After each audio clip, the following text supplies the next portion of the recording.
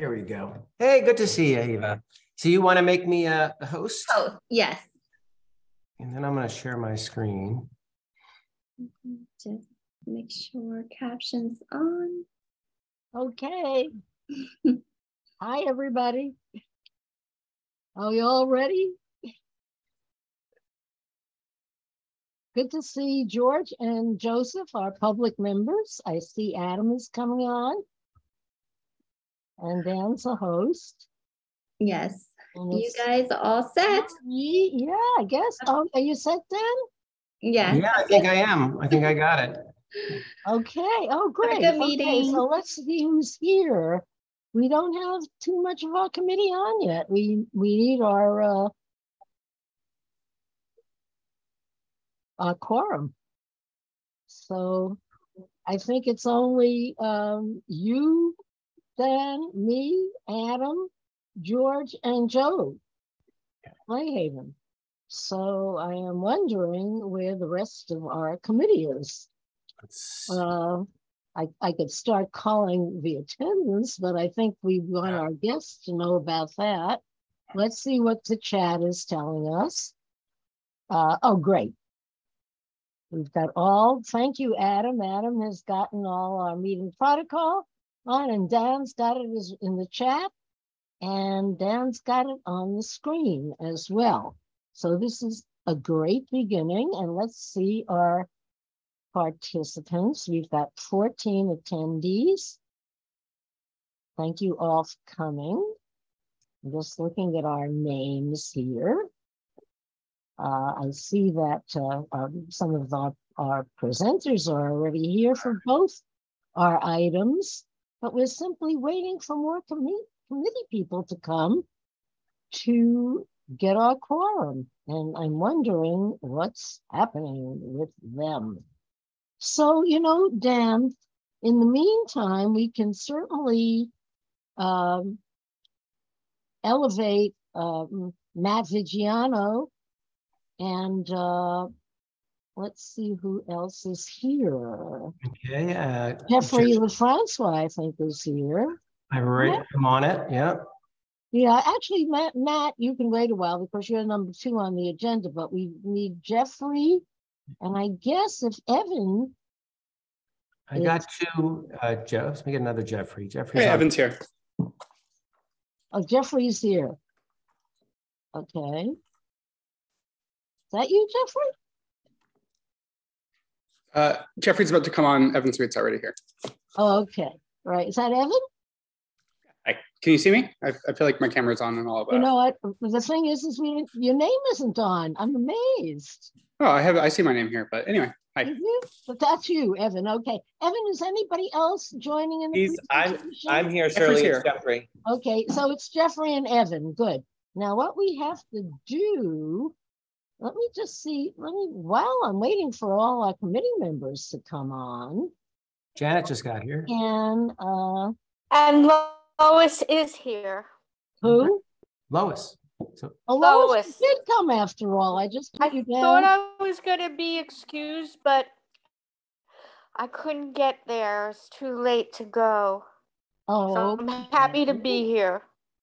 Well, we, I see we have some folks from Community Board Two that are uh, attending, our guests tonight, which are Donna Raftery and Frederica Siegel.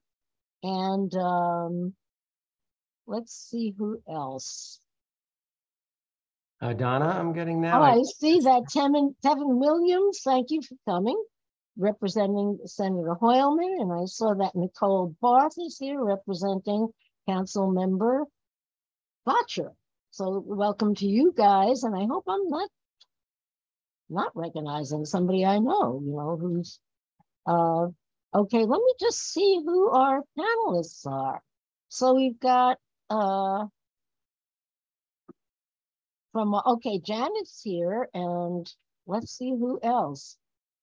I still don't think we have enough committee members. Let's see, one, two, three, four, uh, five, six, seven. You know what? We have enough. So I think I'm going to start. And when people join, oh golly, wait a minute now. Um, I just screwed up.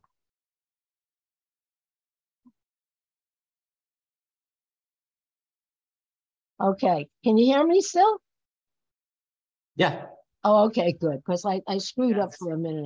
I, I switched to the wrong place. But you know what I'm gonna do? I'm gonna start introducing everybody and calling attendance and whatnot. So, okay, welcome to everyone to Community Board Two, Manhattan's Traffic and Transportation Committee meeting. And I am Shirley Secunda, who is the chair. And I'd just like to introduce you to our members of our committee by way of calling the attendance. So everybody kind of raise your hand and say here very loud because maybe I just don't see everybody. So, okay, uh, Natasha Avanesians, not here yet. And Amy Brennan's going to be a little late, I know that. And how about Ritu Shatri? Are you here yet, Ritu? No, okay. Janet Liss? Janet, I saw your name. Here, Oh, there you go. Hi, Janet. Okay. And Dan Miller is I'm our here. host mm-hmm. tonight, and he's our vice chair as well. And so I am putting him down. And Anthony Wang. I haven't seen Anthony Wang yet, right? No, this is very odd. And Adam Zeldin. Adam, I know Here. here. Yep. Okay. So say it good and loud so we can. Oh, I, you know what it is? We can't see you, I guess. Okay. Yeah, I've been having trouble with my camera today. Apologies, but okay. I'm Well, but crystal hear clear you on audio. loud and clear, Adam, so we got you. And how about George Haikalis? I know you're here. Here. Okay, George, can we see you at all? This is really interesting. Okay, and Joseph Flayhaven. I know you're here. I saw you before, Joseph. Well, anyhow, I know you're here. So, uh, we will see if our other members kind of wander in, but in the meantime, we've got enough for our quorum and enough to start. And so I will just give for those of you who haven't attended or would like a review, what our approach is, our, um, and our protocol as well. Um, basically, we've got two items on the agenda tonight. Both items are, are, are going to be, I think, pretty lengthy because they're two presentations which sound really interesting. And um, okay, each of the items is presented separately. First, the committee asks questions. Then we open it up to all our guests so that they too can both ask questions and do comments. Then we go into what we call the business session, which is when we discuss both these items and we talk about what we would like to address most. And in this case, I think in both cases, we'll probably do resolutions. So we will also talk about what we might include in the resolutions. And uh, for those of you who don't know again, I think most of you do, that's not the end because then it goes to full board. And our full board meeting this month is early. It's on December 15th. It's a Thursday, again, as the usual meeting. And we'll begin at 6.30 and you can get that information on the CB2 website as to connecting with that meeting if you want to uh, follow through on this. Uh, we do have certain ground rules. For some reason, I have just been cut out. Yeah, very interesting. Anyhow, ground rules. Okay, and the ground rules are here too, um, which basically are uh, raise your hand if you want to comment. Uh, we do limit and always have um, to attendees speaking just once, unless we have plenty of time, which I really don't think we'll have. But everybody will have a chance to speak, but for no more than two minutes. Uh, again, our time is kind of limited tonight, but uh, we will try to hear all of you. I would ask that if uh, any of you seem to have the same thing to say as somebody else, just when we call on you, just say, say, I agree with what everybody else has. Oh, Donna is saying the full board meeting has been changed again to Tuesday, December 20th. I haven't seen that, Donna. I thought it was, it was made Are you sure? I, I think you look, you know what, everybody? Look on the board uh website to make sure. Uh yes, Ditto Ray, the meeting says Frederica Siegel and Donna and Frederica are both members of community board too. So I guess they've seen the latest and I haven't. So okay, December 20th, and I've got to make a note of that myself. Uh, December 20th will be the meeting, and it's a Tuesday for the full board then. Okay. All right, look, so the rest of our meeting protocol is right in front of you right now. And uh, when we get to our speaker and their presentation, we also have the protocol on the chat. So please confer with the chat. Uh, it's really just a matter of please don't speak out. You won't be able to anyhow because we're really going to have you muted and we will unmute you when it's ready for you to talk. And um, I think with that, we're just going to go to our first item, which is the uh, Meatpacking Business Improvement District, which is giving an update on their Western Gateway study and uh, vision. And um, this study, I, I just have to tell you, is an ongoing one, and they did give a presentation in May. And we had asked them to come back to kind of give us an update because it sounded like from what their calendar was, they have made some other steps. So without further ado, I'm not going to speak anymore. I think you'll be happy to know. And is it Jeffrey or is it Evan that's going to be doing the presentation? I'm going to do the the presentation, and then probably during Q and A, Evan and I will uh, sort of play ping pong as that happens, depending on the questions. Shirley. Oh, okay, great, Jeffrey. So it's Jeffrey LeFrancois, who's the executive director of the meatpacking bid. And then we'll be Evan Sweet. And oh, golly, Evan, can you tell me what your title is? So I'm the director of neighborhood planning. Right. Okay, great. And and Evan will help Jeffrey out. So without further ado, Jeffrey, Great. I guess you want to get the screen, screen shared and yep, so on. I will certainly do that. And I checked I have permission. So Madam yep. Chair, thank you. Um, Daniel, Donna, Frederica, many others in the committee. Nice to see you all. Um, we're really excited to be here tonight presenting to you um, the product of the work really of the past year. When we came to you in May to talk about our Western Gateway um, vision plan and study, it was to solicit feedback and input. And so we spent a lot of time doing that. And what I'm sharing with you today is like the, is the result of all of that work. So this is this study, uh, which we partnered with WXY um, Architecture and Urban Design, as well as Sam Schwartz Engineering, um, is a real reflection of a part of the neighborhood um, that really just hasn't been looked at in a long time. Um, it has often sort of been, become, it's very much become a back of house um, part of the district. And yet things have changed tremendously. The Whitney Museum is now home on Gansevoort Street for over seven years. Um, we've seen a whole bunch of change in uses in the neighborhood. Obviously, this is a key picture because the meatpacking plant is there, uh, but there's a whole bunch of other stuff happening around it. And really, this is largely a remnant of kind of when, you know, that the 9A, as we know it today, was put in uh, in the late 80s, early 90s. And of course, our plan here is a reaction to the great success that we've seen um, from the plazas that were made permanent um, in the Gansevoort 9th Avenue redesign, which you know run from Gansevoort Street up 9th Avenue to 15th Street. And so our thinking is how do we extend that smart planning, that smart streetscape, that prioritization for people to other corners of the district, given how the uses of the neighborhood have changed significantly, not just in the past decade, but really the past couple of decades as well. And of course, as many of you are aware, because you were all part of the planning process for all of these, right on our western edge, amazing things are happening in the Hudson River. Uh, Pier 57 um, opened earlier this year with a rooftop park. Um, we've got Little Island, which you all know well, opened a year and a half ago. And then soon to come, something we're very excited about, Gansevoort Peninsula will also be opening. Three fabulous amenities now right on the edge of the bid boundaries, drawing a tremendous amount of attention um, and foot traffic to the neighborhood.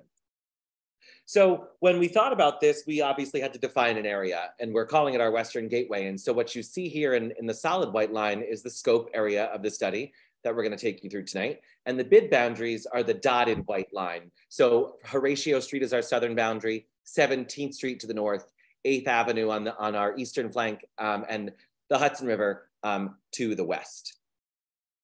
So, you know, the reason we didn't just work with an architecture firm, but we also had to bring in, you know, an engineering and, and traffic study firm is because there's a whole lot that happens day in and day out in the meatpacking district. At our core, we are a business district, sort of buffered and surrounded um, by a residential community, which are in the bid boundaries and also outside of them. And obviously, it wasn't just about the business, but about the quality of life for everybody in the neighborhood, thinking about safety, um, vehicle access for, for freight, for freight purposes, um, for taxi pickup and drop off, private vehicles, um, all super important. Um, connectivity, not just uh, sort of connecting A to B, but how do folks get here, whether it's public transit, their own car, a taxi, micromobility, how should we be thinking about those things? And then what is the use of the curb? How is that um, work or not work as it relates to the state of the district today? So as I mentioned, um, CB2 was a stakeholder on our, our engagement outreach back um, in May. Um, and we talked to a whole bunch of others, board four as well. They're in the scope of this study to the north, um, property owners, businesses, um, block associations, um, a whole, you know, a whole bunch of folks in the neighborhood, in and around the neighborhood, adjacent to the project to really get their thoughts and feedback.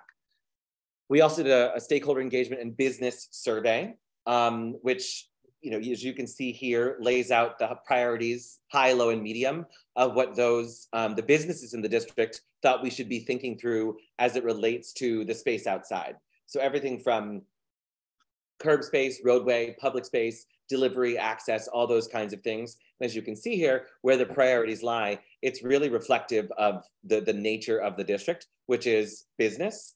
Um, and so that's sort of how it, it, it played out here.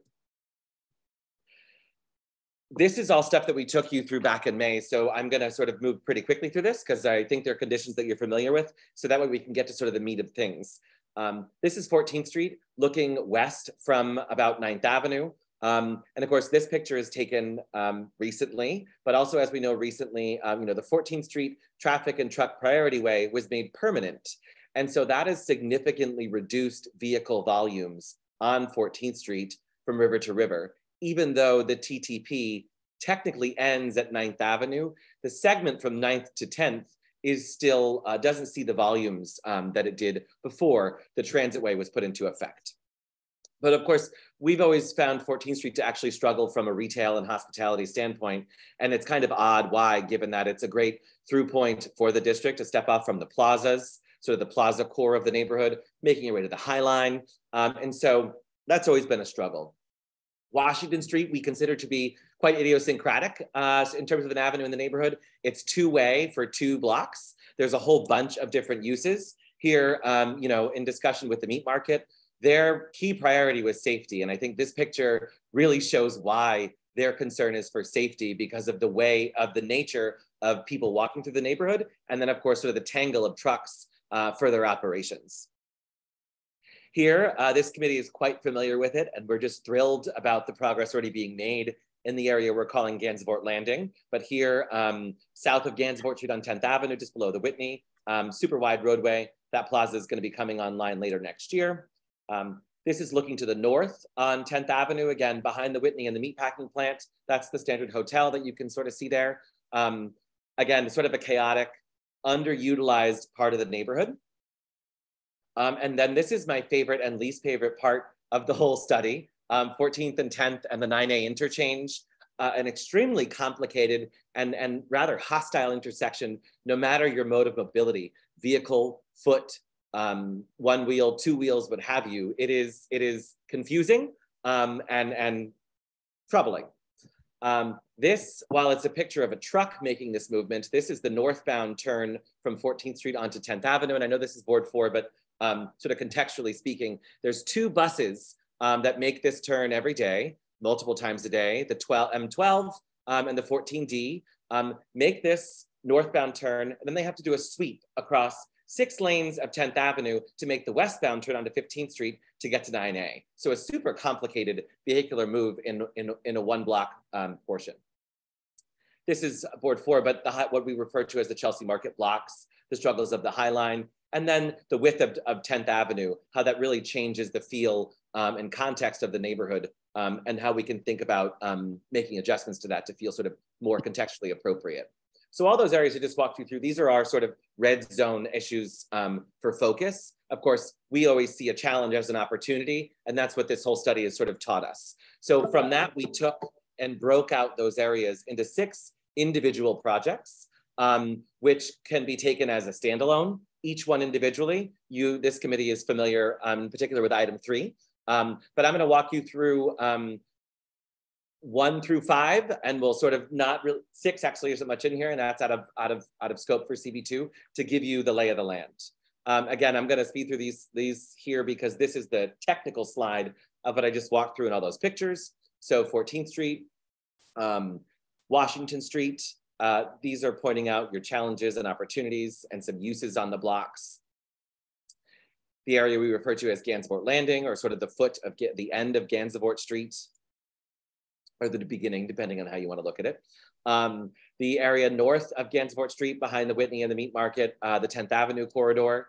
Um, this is the 14th Street and 10th Avenue interchange, um, which as you can see here, these arrows highlight the pedestrian movements. There are crosswalks to nowhere. Um, the, you know, this is a key intersection because a year ago, 30,000 people a week were crossing here.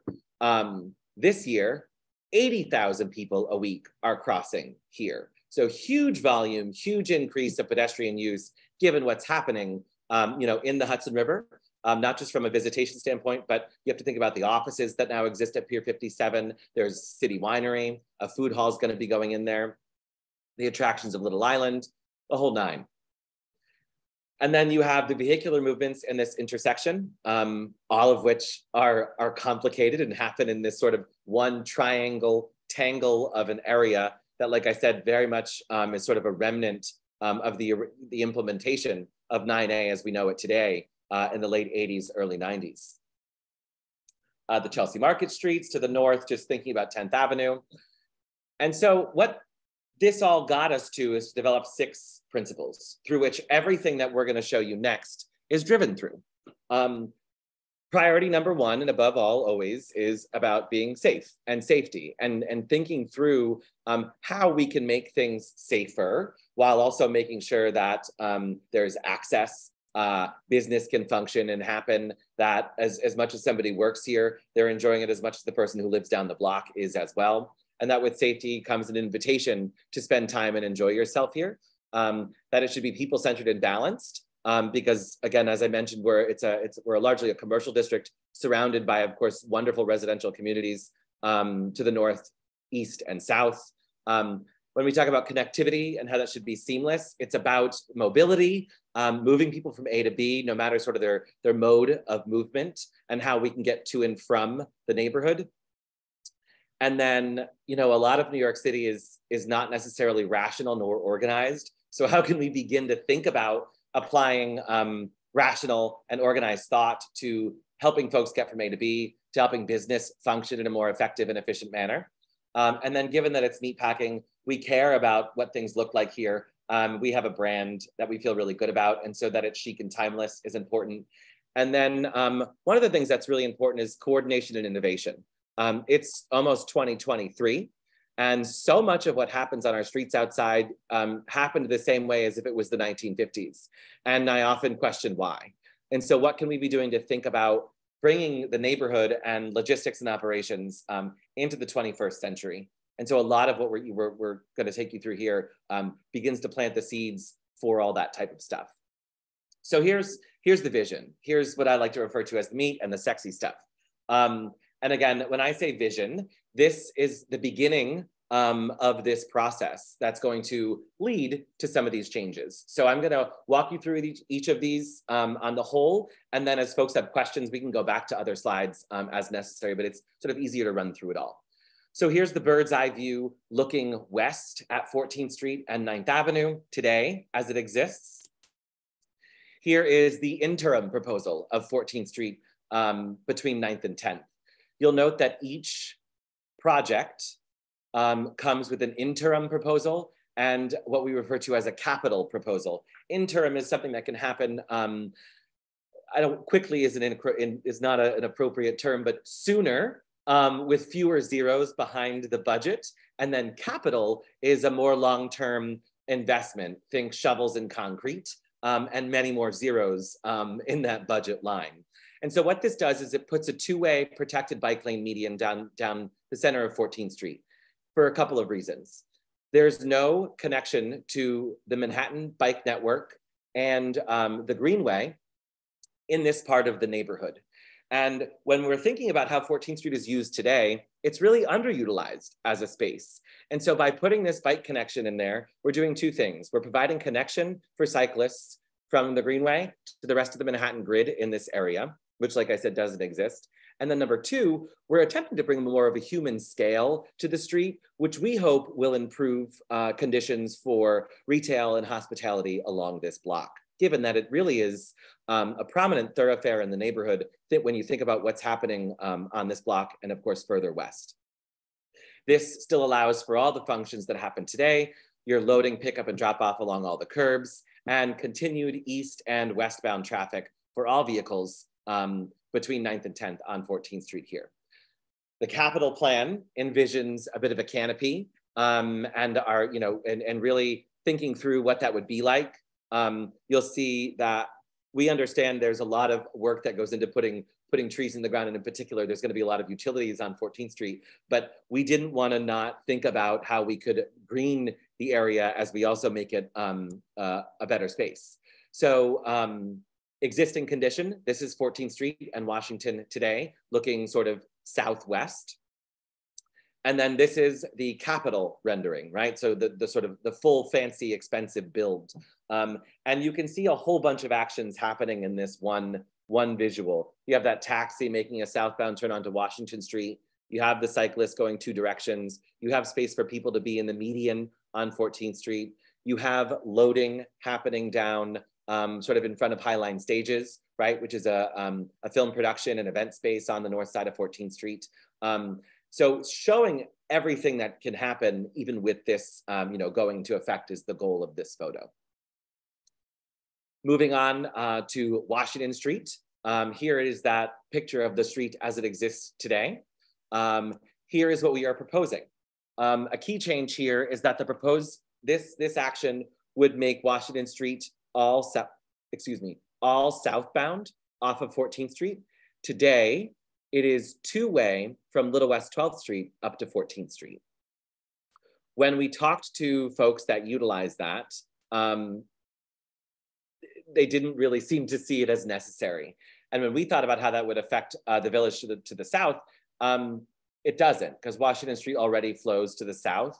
So this was about allowing us to turn Washington Street into what we call, and the city calls, a slow street, allowing for the um, constant access of vehicles, um, to have them safely mix with an expanded pedestrian footprint. You'll see a lot of that beige taupe color is a repurposing of the curb to bring um, what we would refer to as plaza space to Washington Street, and then pick up, drop off and loading zones on each block. And this was a key reaction to a lot of our stakeholders saying, well, when are you gonna do stuff on Washington Street, a la programming? Um, whether, whether, and when we say programming, I can mean passive programming by saying a table and chair, or um, active programming, whether it's, you know, a, a group of um, musicians on the corner, um, is there a reading happening, a piece of public art, something like that. And so, again, a direct reaction to being able to extend those things to other parts of the neighborhood in terms of the, what we've seen and the successes of Ninth Avenue. So again, interim, and then on the Capital, um, you see permanent expansion of sidewalks, right?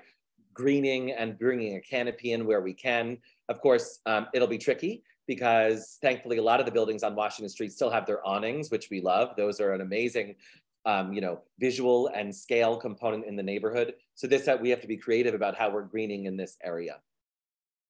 So this is Washington Street at Little West 12th, looking south today.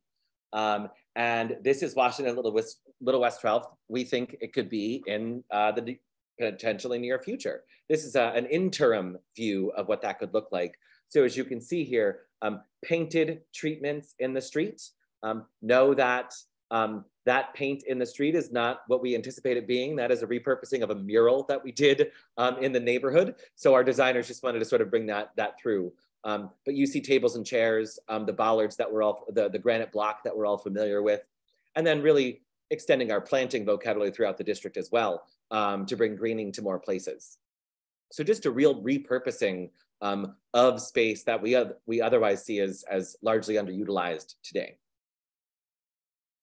Um, an area this committee knows well, what we're referred to as Gansevoort Landing. Um, I'm gonna share this because while we're getting some of this, we are gonna, we're trying to go a little further as it relates to uh, what, what our goals are for this area. So you're all familiar with this plaza that we are delighted uh, to be working with the city and TF Cornerstone to make this happen in this spring, summertime. So where the red umbrellas are is what this committee um, and the full board gave unanimous approval to, which is just wonderful, um, just last month.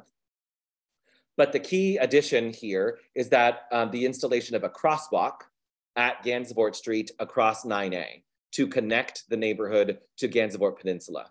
And we want to do this for a couple of reasons. Um, it shows a good connection um, for the Whitney Museum to Days End, right, which is the piece of public art um, in the water off of Gansevoort Peninsula. Um, right now, the pedestrian has to traverse a really awkward journey, sort of south, almost all the way to Jane Street to get across 9A. The, the, the good part about what this allows for is that there's already a traffic signal at Gansevoort Street on 9A, but there's no crossing. So one of the biggest obstacles is the traffic signal. And so that that's already in place, there's real potential for this to happen here. Um, and we, you know, we've talked to our friends at State DOT and sort of reminded them of how difficult it was when Little Island opened without a, a real thought through of, of what the volumes of traffic would be, PEDs would be like going across. And so this is something we are um, hoping uh, everybody is interested in so we can really ratchet it up with the state as Gansevoort Peninsula marches closer um, to opening. So the interim plan um, and then the capital plan, which is pretty significant. Um, and I'll speak through this slide and then it sort of gets to the next two, which is, which is a why. Many of the operations that we considered in this area had to do with the Whitney Museum's um, loading needs. Um, multiple times a year, they bring in um, an 83 foot truck to move some big art uh, to and from the museum. And so all those moves had to be considered when we were thinking about what to do here. And access to the Whitney's loading dock um, is, is, was a key factor. Believe it or not, this doesn't negate that. But what this does do is it allows vehicular access to 9A from Gansevoort Street. It adds crossings on both sides of Gansevoort Street um, at 9A and also provides for the bike connection in this area.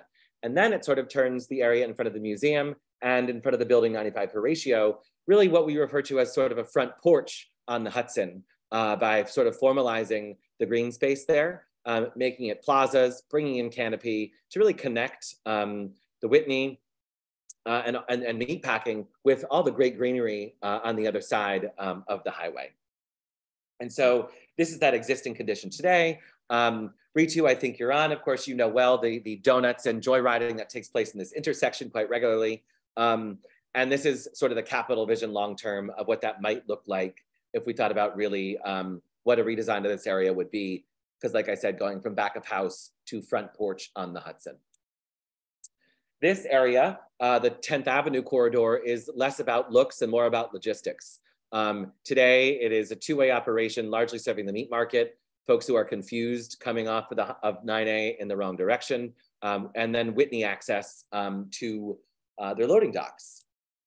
The, few, the, the, the interim proposal is to make it one-way southbound only, to better organize the space behind the meat market there, uh, because they still have a whole bunch of operations with big tractor trailers that do need to happen, but it becomes a parking lot. It becomes another place where folks um, are coming and doing car tricks that not only are illegal, but just that really nobody likes.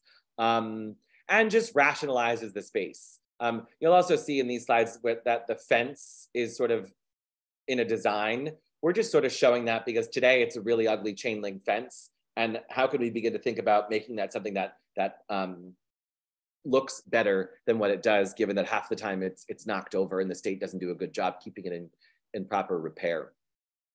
Another part about this slide that um, not shown here, but we'll talk about it in the next one. I don't know if you can see my, um, I have a cross moving in this mouse. This region up here in sort of the top um, left quadrant of the picture um, is a state-owned DOT lot. Some folks would be familiar with that. There's a dog run there. Um, it's a it was a staging site for construction for a long time, and it's a surface parking lot today in a deal made with the state. And we see it as a key uh, logistics um, point for the neighborhood, which this slide, the capital build, show begins to show. Um, you know, one of the things that is is challenging in a commercial district is freight and the management of it and the movement of goods. And right now, it's done very sloppily, quite frankly. Um, and so, how can we think about using that lot as a place for um, micro micro mobility as a distribution hub for the neighborhood? So, have the bigger trucks come, unload there onto cargo bikes, hand trucks, etc. And then suddenly they are bringing things to stores, your apartment building, etc., all from within this this this distribution hub. Um, you know, we see Amazon do this in the curb lane right now, and it it it's not a space we think that it should be happening. And so we see this as a real asset um, in terms of how we can convince, hopefully convince the state to sort of have us be the partner on this, because not only could it be a hub for logistics, and sort of organization for the neighborhood, but how does it become a public space that's useful when we think about time of day activity in the neighborhood? This also shows the Whitney loading dock, which would then we propose having what um, the engineers refer to as a chute onto 9A northbound um, from the museum. So really the only activity that would be happening here is access to the meat market and access to the Whitney Museum. And so anybody that comes down there is likely doing that um, and can get slip right out onto 9A from that area.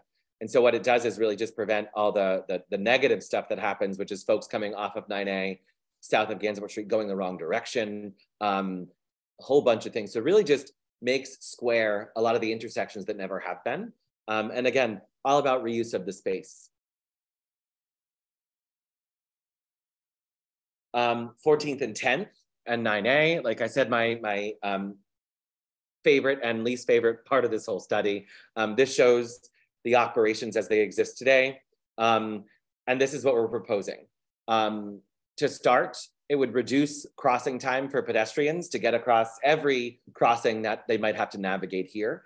It makes sure that all of those crossings actually go to somewhere because today they all don't. Um, it turns the off ramp um, from 9A onto 10th Avenue into a plaza in our analysis, we found that the majority of the traffic getting off of 9A at this part of 10th Avenue, we're using it to go to the Lincoln Tunnel. And if we know where the Lincoln Tunnel is, it's certainly not at 14th Street or even in the vicinity of 14th Street.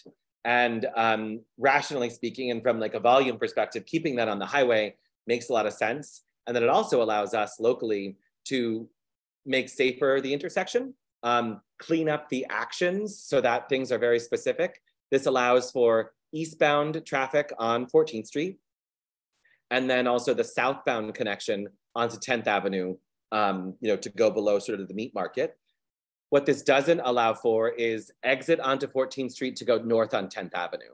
Um, if you wanted to get a northern part on 10th Avenue, like any other block in the city, you would go up to 16th Street or 18th Street and sort of find your way onto 10th. But this preserves vehicular access all across 14th Street and then allows for the southbound loop on 10th. Um, it begins to clean up what we see as a very sloppy um, treatment of the bike um, of the bike infrastructure in the area. Uh, DOT presented to CB4 recently its plans for a protected bike lane on 10th Avenue. This proposes um, uh, a protected bike lane on the south side of 15th Street and then a bike lane of what we would refer to as the middle of 10th Avenue today, but really it's not the middle of 10th Avenue because we've reduced um, the vehicle lanes from between 14th and 15th to two lanes.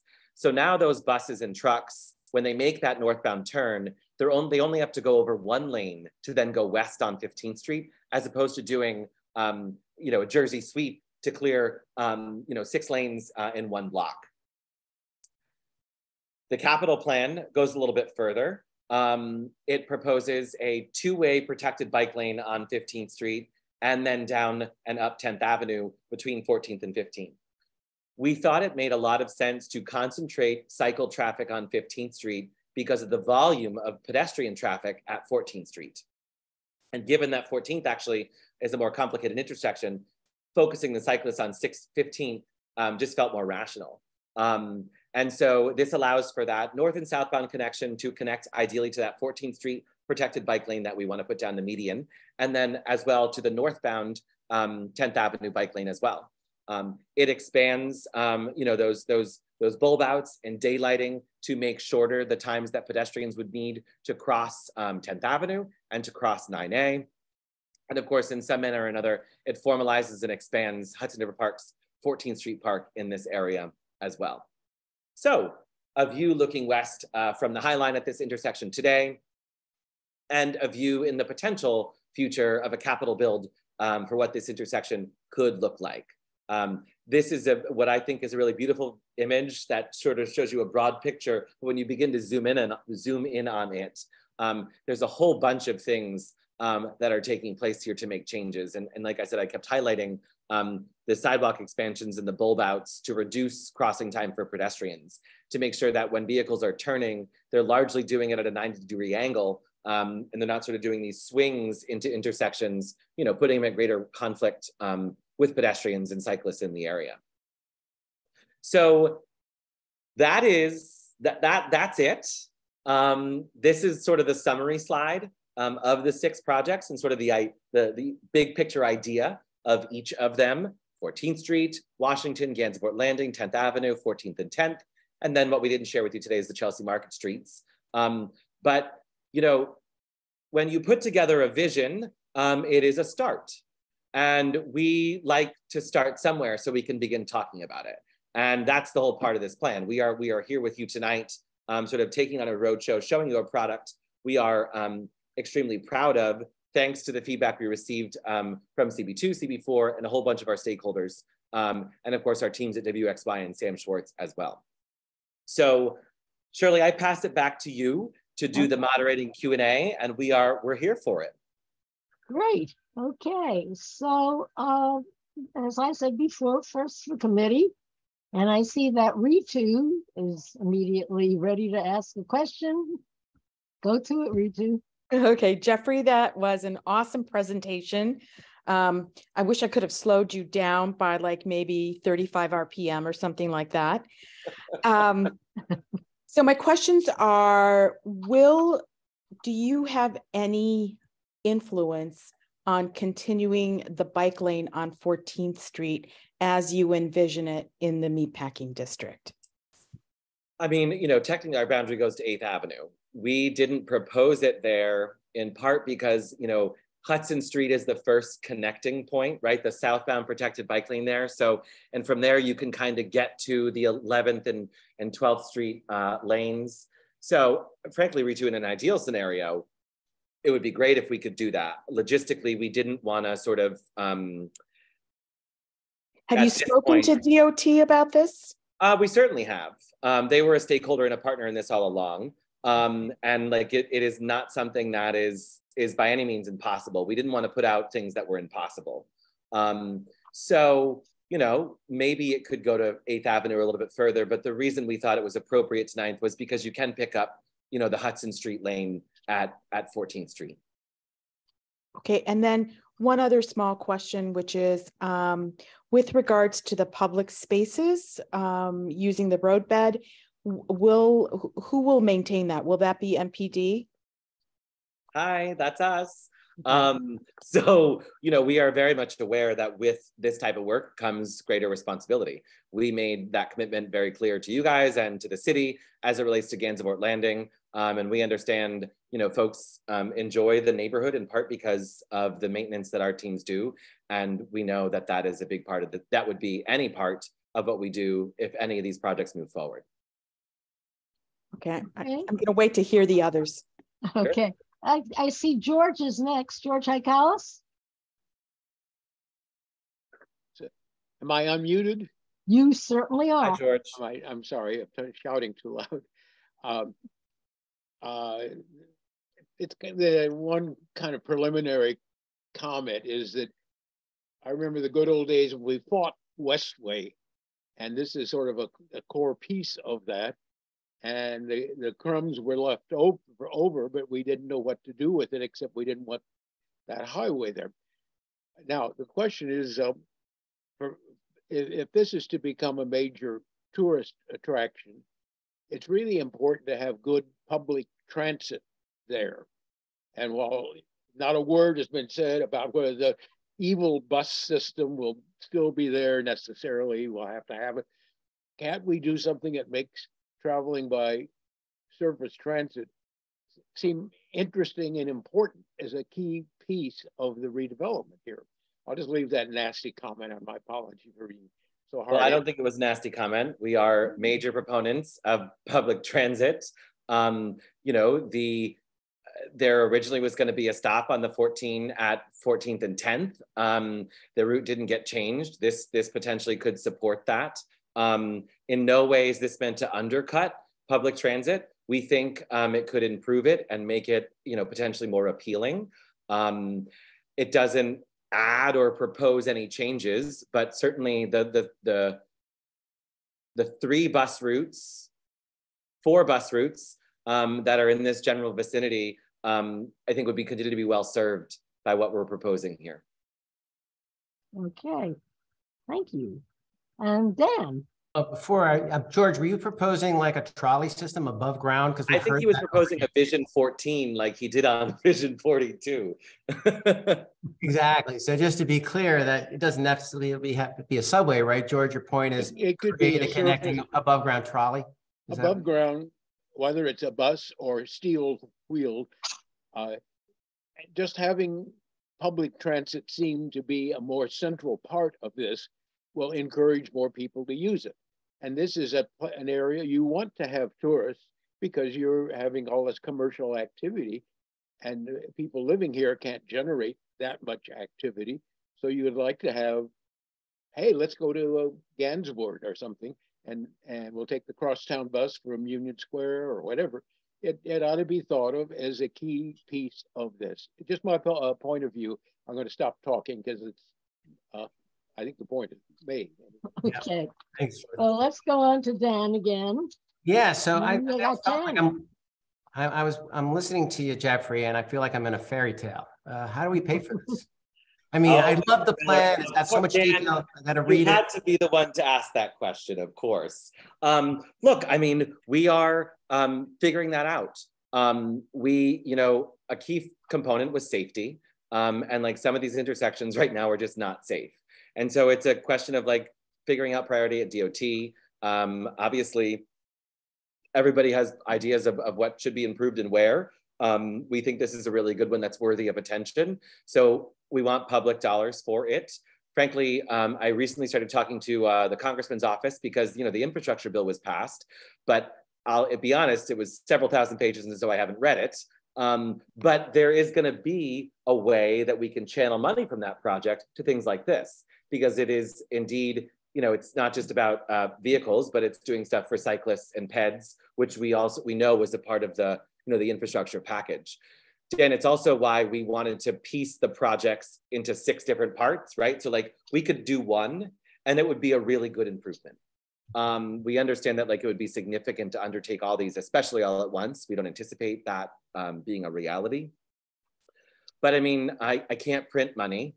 Um, so it's, we're having discussions of whether or not this is public-private partnership, a la Hudson Square. Um, so, you know, sort of right now for me, all options are on the table, um, is, is what it's like.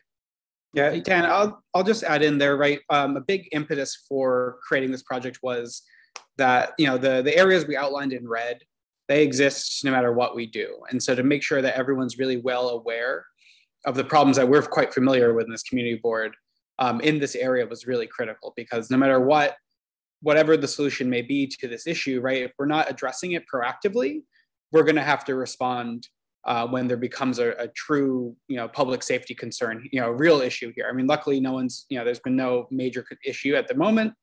We don't want that to be the case, and so we want to be proactive. Our hope is that providing this vision to the city and to our stakeholders means that um, there's something that people can hold on to and grasp onto and kind of push forward with uh, with strong momentum, and that there isn't the need to reinvent the wheel every time someone comes up with an idea or like sees a problem here, and that we can really tackle them. Well, yeah, we asked for a master plan. I think several members of our community did, and you certainly gave it to us. So we we see it's not piecemeal. So I appreciate that. Now, last month we saw, you know, a Gansevoort crossing, the little parklet. You also presented a new plan, kind of a a better uh, overhaul plan. So if one is going to go through, should they both not be going through together or what's the, what's the So- strategy for that? the city's plan doesn't negate what we're proposing because we are, you know, very happy with what the city's put forth. It's reflective of what we've done. We want to go a little bit further and add that crossing on 9A. That's a key additional component. Um, but it doesn't, what the city's doing is really is putting that plaza in sort of on and, and demarcating those areas on both sides of 10th Avenue south of Gansevoort. We'd like to go a little further and do something in front of the Whitney as well, but it doesn't, it's sort of a plus plus. And we were very happy with you know that those conversations started while we were taking this study up and that dot was so willing to move on it um, and have that become real next year Okay, Dan? So I'm good, thank we're you. On, Thanks very much. Yeah. we're on to Janet. Um, so thank you, very exciting. Uh, so, um, I guess just a few quick, quick, building on Dan's question. So looking at the plan, Gansevoort Plaza then becomes a, that space becomes basically a shared street, right? In your, your final version, that it's available for the occasional car, but it Uh, looks as if it's gonna Gansevoort, we eliminate vehicular access south of Gansevoort Street on 10th Avenue in the capital version because you you would be able to get from a vehicle from Gansevoort Street directly onto 9A. Um, but the. I'm probably referring to the wrong spot, the, the, the place where the Whitney needs occasional access to do loading and unloading. Yeah, let me. I'm They would be right doing now. that in what would be the pedestrian, the occasional access in the pedestrian space. So it is, so as you can see here, um, the area that I have highlighted, right? That Yeah, is, uh, that, that becomes a permanent plaza because your vehicles only need to go, um, to nine A off of Gansevoort Street. okay, We Okay, create a dead end in front of the Whitney here because the vehicular access is circular here down on, on 10th Avenue. And you can sort of, this little zone here is a chute that those trucks would be able to exit from the museum directly onto 9A for. So it doesn't really become a shared street. We're creating sort of individual segments and allowing what, what we see as a more sort of standard intersection at Gansevoort and 9A, right? Creating a 90 degree factor so cars can make that right hand or left hand turn to go north or south off of Gansevoort Street. And then creating sort of a, a loading dead end for the Whitney um, and the meat market. Okay, um, thank you. Um, and then this is a. I guess kind of a design question. I mean, the beauty of Ninth Avenue really is that it's linear and you have actually increased the pedestrian space there because people walk in straight lines, they don't do a curvy thing. So Washington Street, I guess you've made the decision that you don't actually, like you have, you've created places to sit, but you haven't, by doing that curvy thing for the cars, you actually haven't increased circulation space. And you know, it seems like on weekends, sometimes Washington Street gets pretty busy, but I guess I'm curious, like what went into that thinking? Well, it's interesting because I'm sure you remember like all the iterations on the Ninth Avenue redesign also, right? And like where we landed was very different from where it started. And this vision, if if Washington Street goes forward, I imagine that when it's done, it will look quite different than what we're proposing today because we might realize that that linear treatment on one side of the avenue or the other is indeed more effective. One of the reasons we we didn't propose that in this round is because we the the slow street idea, um, right? If a vehicle can go in a straight line, it's going to go fast. Uh, we wanted to sort of have a safe mixing way for peds and cyclists and vehicles, and so getting the car to make the turn organically slows it down a little bit. Um, and that was the thinking for this. It certainly might not be the case if that, that project is, uh, you know, greenlit and formalized. Okay, um, thank you. Uh. Yeah, that's it. I was gonna ask about the Eighth Avenue connection on the bike lane, but Ritu covered that and I, and I understand your thinking on, on that. Um, and then, I don't know, and this might be too small too. We had talked about, did you discover there was no really need for containerization of garbage? Like you didn't mention that? Uh, Ms. Liff, that will be for another meeting. Okay. um, um, you know, this is purposefully light on detail because when we Okay. d- decide to move forward with 14th Street or Washington Street we'll be back to for the public process. And that may inform the block that has containerization. That's going to inform specifically where the loading zone is, right? So um, we didn't sort of go that minute in in this project in this proposal. Okay, thank you. Okay, so uh, anyone else? Including our full board members, Donna, you, you have something. Yeah. Right. Thanks, Jeffrey, for the presentation. Um, so I, one of the questions I was going to ask was following up on your Gansevoort area about the crossing at Gansevoort Street and why why we weren't doing that now um, with DOT. So, but I think that's excellent. I I mean, so needed there. So I just hope that can get done sooner th- rather than later.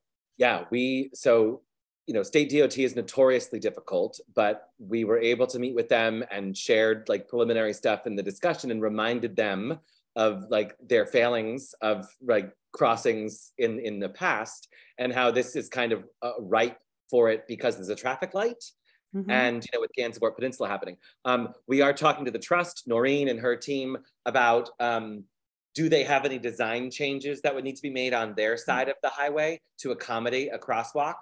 Um, so you know those are very much ongoing discussions. Great. I think that'll be really helpful to everybody to not have to go further south on that. So, so then my next question sort of pegs up what Ritu was saying about the bike lanes. They're going across 14th Street and then yes, they can come down on Hudson to go to 11th, 12th. We all know all the bike messengers were already going all across 14th Street in the bus lane continuously. So I have a concern they're not going to not do that. Now they have bike lanes in the middle. I mean, I just think something has to be in the plan to, in reality, what's going to happen because I'm just, you know, they're not going to, Do you mean like on that one block we're proposing for 14th Street that right. um I guess I'm just trying to think through what the reality is like if, if is is They're going to keep going straight, but probably go, up- they'll, they'll probably go straight and then Yes, go over to will. the side, you know? And You're exactly right. And so I'm just gonna encourage you to get those bike lanes all the way across 14th Street because they're using them as it is now. And I know it's not your job. Keep Right. that coming. We love like make that noise, Donna. Let's keep So- making that noise. So, and then my, my next thing, which I think you will not be surprised to hear from me, is that this conveniently stops at 14th Street and 9th Avenue and not, does not go south on 9th Avenue through to Gansevoort Street. So 9th Avenue, the discussion about 9th Avenue is left out of this one, you know, once, once you get into the district. And as you know, there are a lot of problems with ninth Avenue with the traffic flow. So looking at this holistically, whatever you are doing on 10th Avenue, Washington Street, all of that is also going to impact 9th Avenue. And I, where does that fit in here?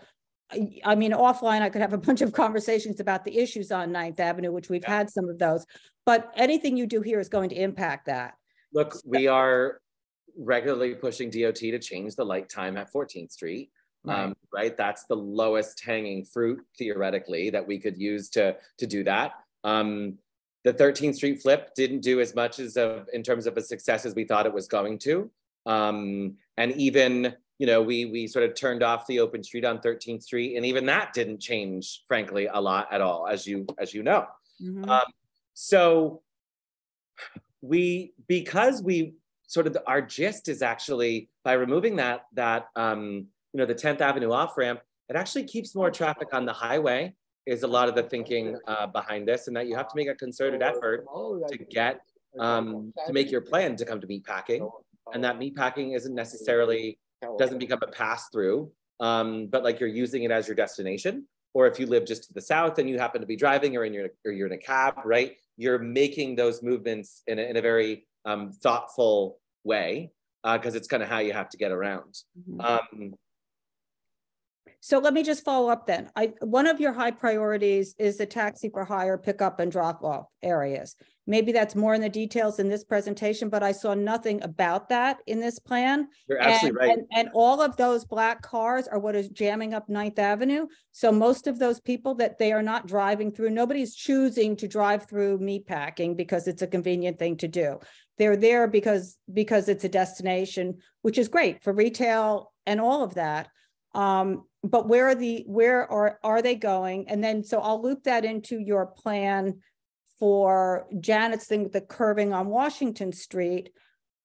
That's already it jammed up because of all the cabs in the no standing zones and the for hire vehicles by the standard. So, so that's another thing to consider as you're weaving that through, even just putting in more walking space, which would be great.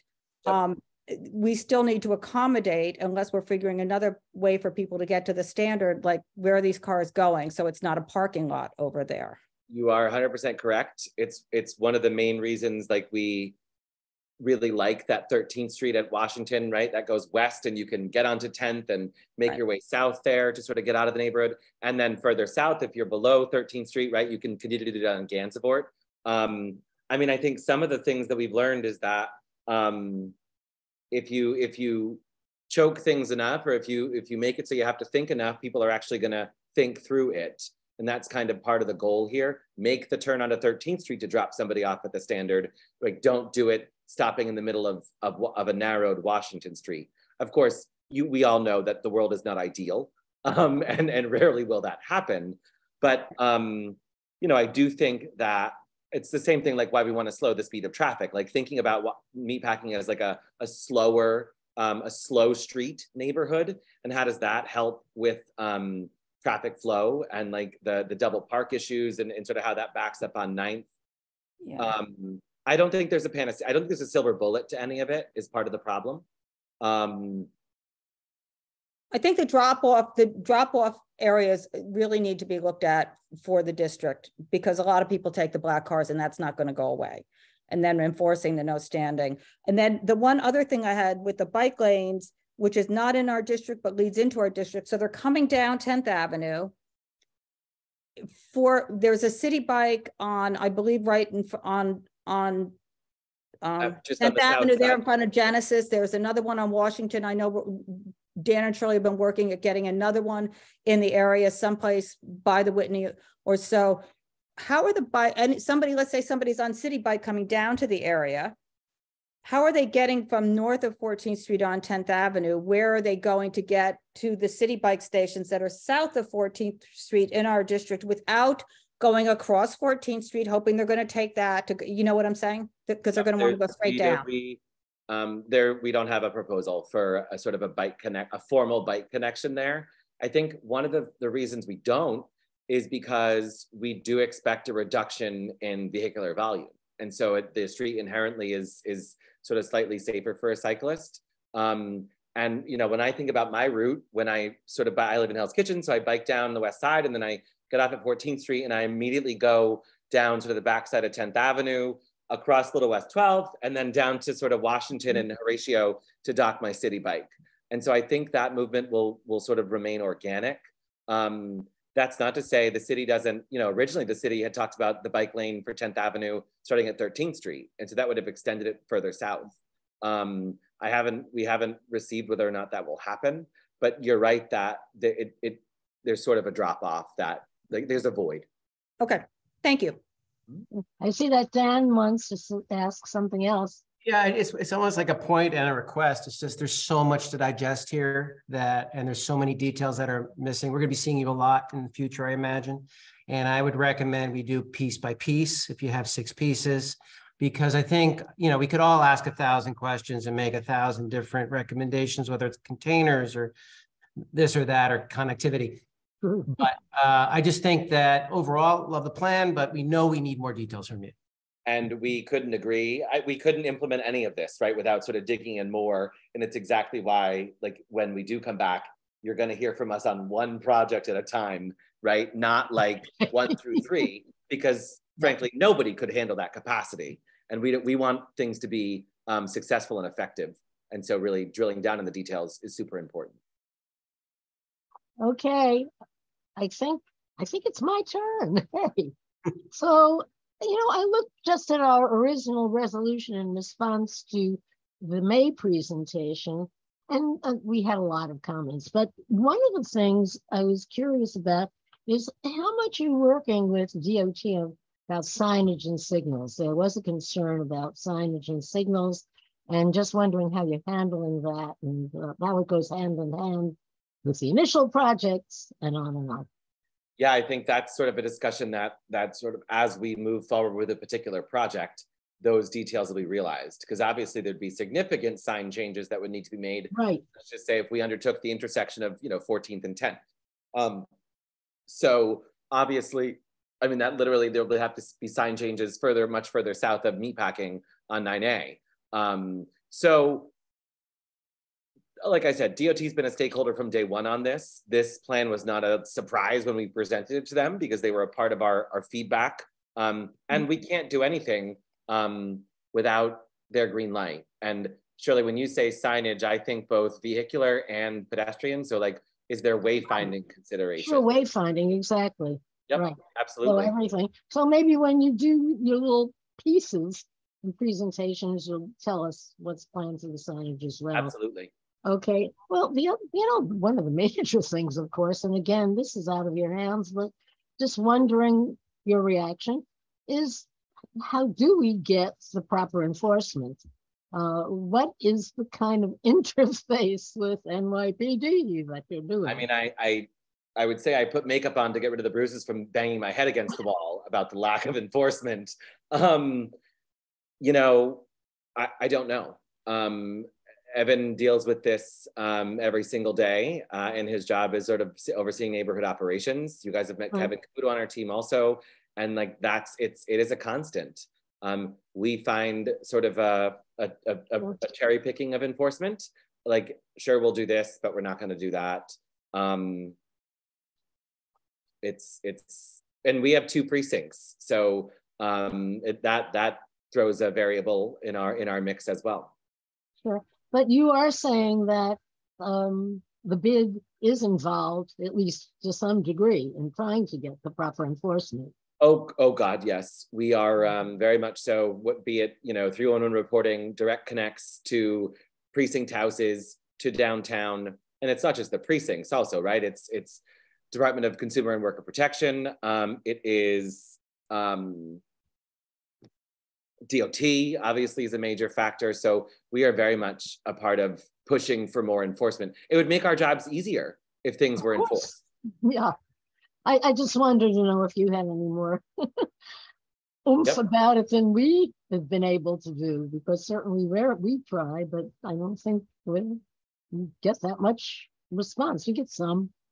Right. Well, maybe if we all work together and um, here's here's just a question based on what your original calendar was, and it was just about now that you were going to start on programmatic pilots, and you haven't yet, have you? Right? No. And any idea when? We I mean, Gans, we're like Gansevoort Landing, the area that we're calling south of the Whitney, that the sort of the plaza. Um, that's kind of going to be the first, and we're really pushing for that to be installed by the flower show. Um, so the second weekend in June, and of course, by me saying that out loud, that means I'm going to be working really, really hard to get DOT to do that. Um, oh and yeah. frankly, one of the things, Shirley, that since you mentioned the sort of programmatic pilots of it, let's say DOT doesn't install it by that time, what we might do is stand up just like a week long pilot of what it would be like in that area, sort of a la what our friends in Soho did on Prince Street, right? Um, so just to sort of experiment with what the use of the space is like, like that's very possible depending on, on DOT's schedule.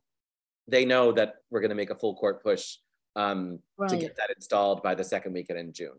Yeah, and and we're always kind of constrained by what how how fast DOT gets to these things. Yep. So again, a question with enthusiasm, but with understanding and hoping. And so you know, like we would, prevail. we would certainly, if we decide to, you know, make a plaza somewhere else or expand um, a, a sidewalk temporarily, like we're going to be coming back to you to talk to you about it. Um, so we'll be keeping you posted on that stuff for sure. Okay, and I see Frederica has a question or comment or, there you go, Frederica. Thank you. Hi, everybody. Uh, Jeffrey, it's all very exciting. I wondered uh, if your intention is to come back to the community board with the various parts. What are you looking for from us now? This was, we, we wanted to share the product. We're kind of bragging. Um, and because we feel really, we're really proud of this. Um, I don't know that we um, expect anything from you tonight. Um, one of the things that we're soliciting for is, is, is, is reactions. Um, what stands out as a priority to the committee? Um, what uh, might we put sort of further back on the burner? Those kinds of things would be useful as we have conversations with City Hall um, and you know our leaders in government.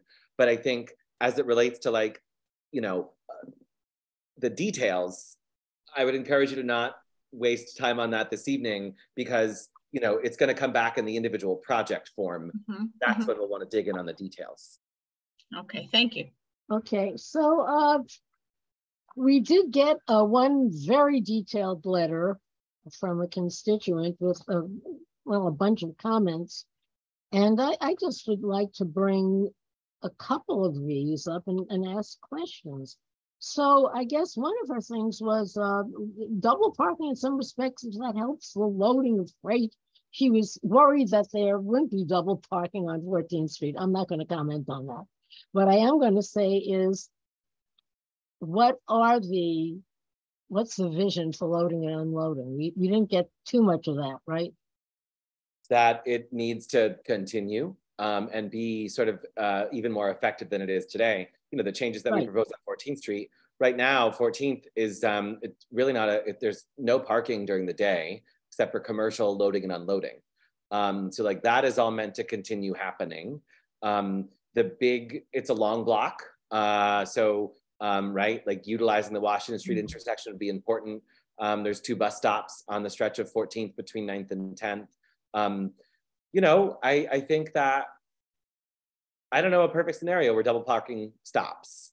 Um, but the reason we want to keep the curb moving is so that somebody can pull over and drop somebody off or grab the box from inside the store. Um, and, and that's something we want to make sure can happen. Okay, so you will be tending to, to that. I think we certainly want to be aware, right? Like um, of, of that kind of stuff. You know, Highline Stages on the north side of 14th Street, they have um, events, um, right? Big fashion week place, um, des- destination for fashion shows. Um, they're a big film production studio. So like stuff's going to happen uh, and it will Mhm. continue to happen. And we want to make sure that it can do so um, successfully and not affect the flow of traffic either. Okay, and there was another question, there may have been two. One was about the lighting, the overpass lighting, and sometimes she had a, a concern that it really wasn't needed. So I, could you address that? Yeah, I mean, we, um, the area under the. High Line, this is all, this is on Yeah, 15th and Line. 16th Street. Um, there's a span of the High Line that stretches over 10th Avenue at 16th. Um, it's Right. quite dark under there. Um, by no, me- I, Shirley you shared this email with me, which I appreciate. And by no means are we thinking of like, um, making a light show out of the underbelly of the High Line. It is to really make it so that you can actually Hey, that sounds kind of cool. maybe maybe once a year it could happen but um you know using it as a way to um safety is a factor and then sort of to know where you are also um but by no means was it meant to sort of detract um from the high line Okay. And again, I think she asked if, uh, I think I know the answer, but I just want you to say it right now. Um, in terms of, of the flow of traffic at 14th Street and uh, the, the, she's concerned it might go into smaller residential streets and so on. And I just, she had asked, has that been studied? And I, I'm quite sure you have studied that whole area, but I just wanted your feedback on it right now. Yeah, um, a couple of things like the the the only vehicular change where, where there's two vehicle changes that are that would be considered significant that we're proposing. That Washington Street becomes southbound only, and we don't since Washington Street is already southbound south of Little West 12th Street. We don't see how changing it all southbound for two additional blocks affects traffic flow further in the village.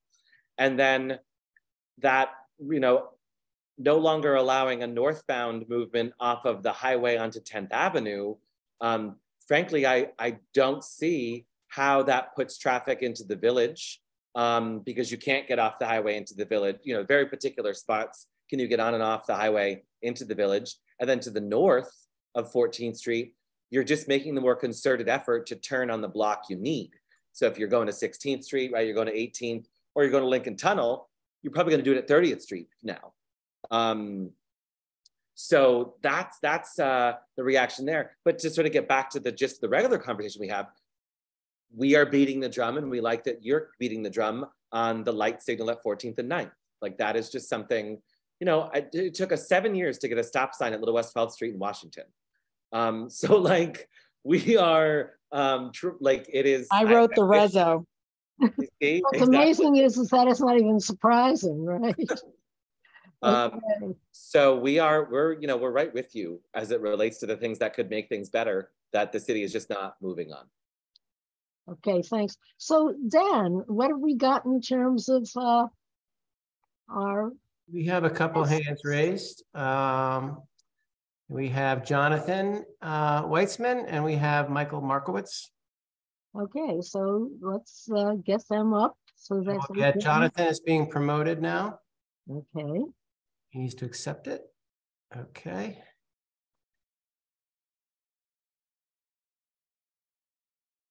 okay. And you said in Michael Markowitz? Yeah, you want me to do both at the same time? May as well, sure. I, I somehow don't see them. Yeah, they're not accepting yet, so they have to accept the invitation. Oh, Jonathan, Michael, are you there? Please accept our invitation. Jonathan Lyson, he, ex- he says he accepted.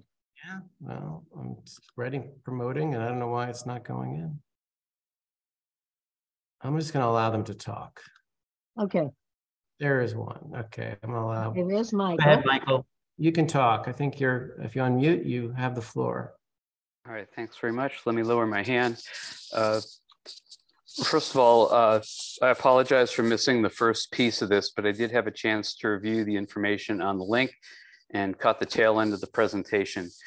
Um, So a couple things, and uh, before going further, I see I'm on a clock. I appreciate that. Uh, How much time would you like me to limit myself to, Shirley? Well, it's two minutes. I guess you, yeah, you could also look on the chat and see what our rules and guidelines are. All right, well, I'm Please reclaiming my time for guidance to the guidelines. Two minutes Okay, is fine. so we better give him a little more time than. All right. Well, I was just kidding. I'm very compact. Um, so a couple things, bang, bang, bang, because I talk like I write, which is in bullets. Uh, first, uh, Jeffrey and Evan and everybody, I so appreciate how much work goes into a conceptual effort like this, having been part of a good number of them in my career as a civil engineer. It's a tremendous amount of work and uh, my hat's off to you because you looked at so many different aspects of this. Um, not necessarily at the end of the day that I'm going to agree with the concept, but I just want to say I appreciate uh, the presentation and how much went into it. Um, I want to return to the description of the Traffic and Transportation Committee, and that is primarily to move traffic and people and goods and services. Clearly, this proposal would have the contrary effect the impact of this proposal is much, much broader. The devil is in the details is the corny quote, but in a master plan concept like this, what really matters isn't the details, which can always be worked out and tweaked. It's the big picture and specifically crimping off that intersection of West Street, 14th Street, 10th Avenue cannot be minimized. That is huge, huge, huge, huge. Now, procedurally, I have severe uh, heartache and objection to that there was no time for public awareness or contribution. Uh, this material, as far as I'm aware, just came out yesterday.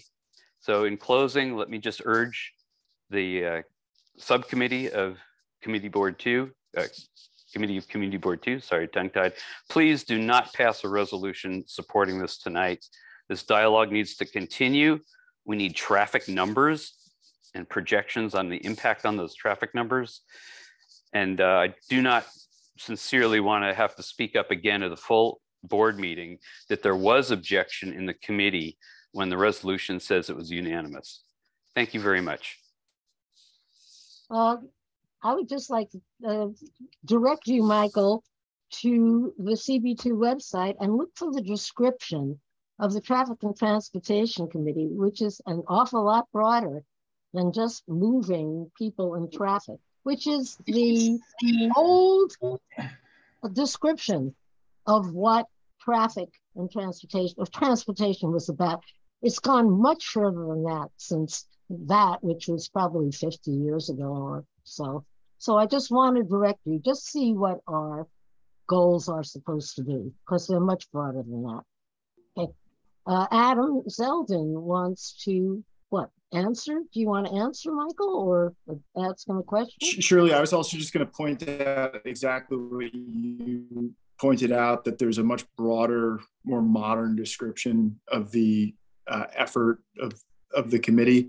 I'd also point yeah. out that you know when we talk about unanimous committee vote, we're talking about members of the committee, uh, and you know that line on the resolution is just tallying the vote from the business session.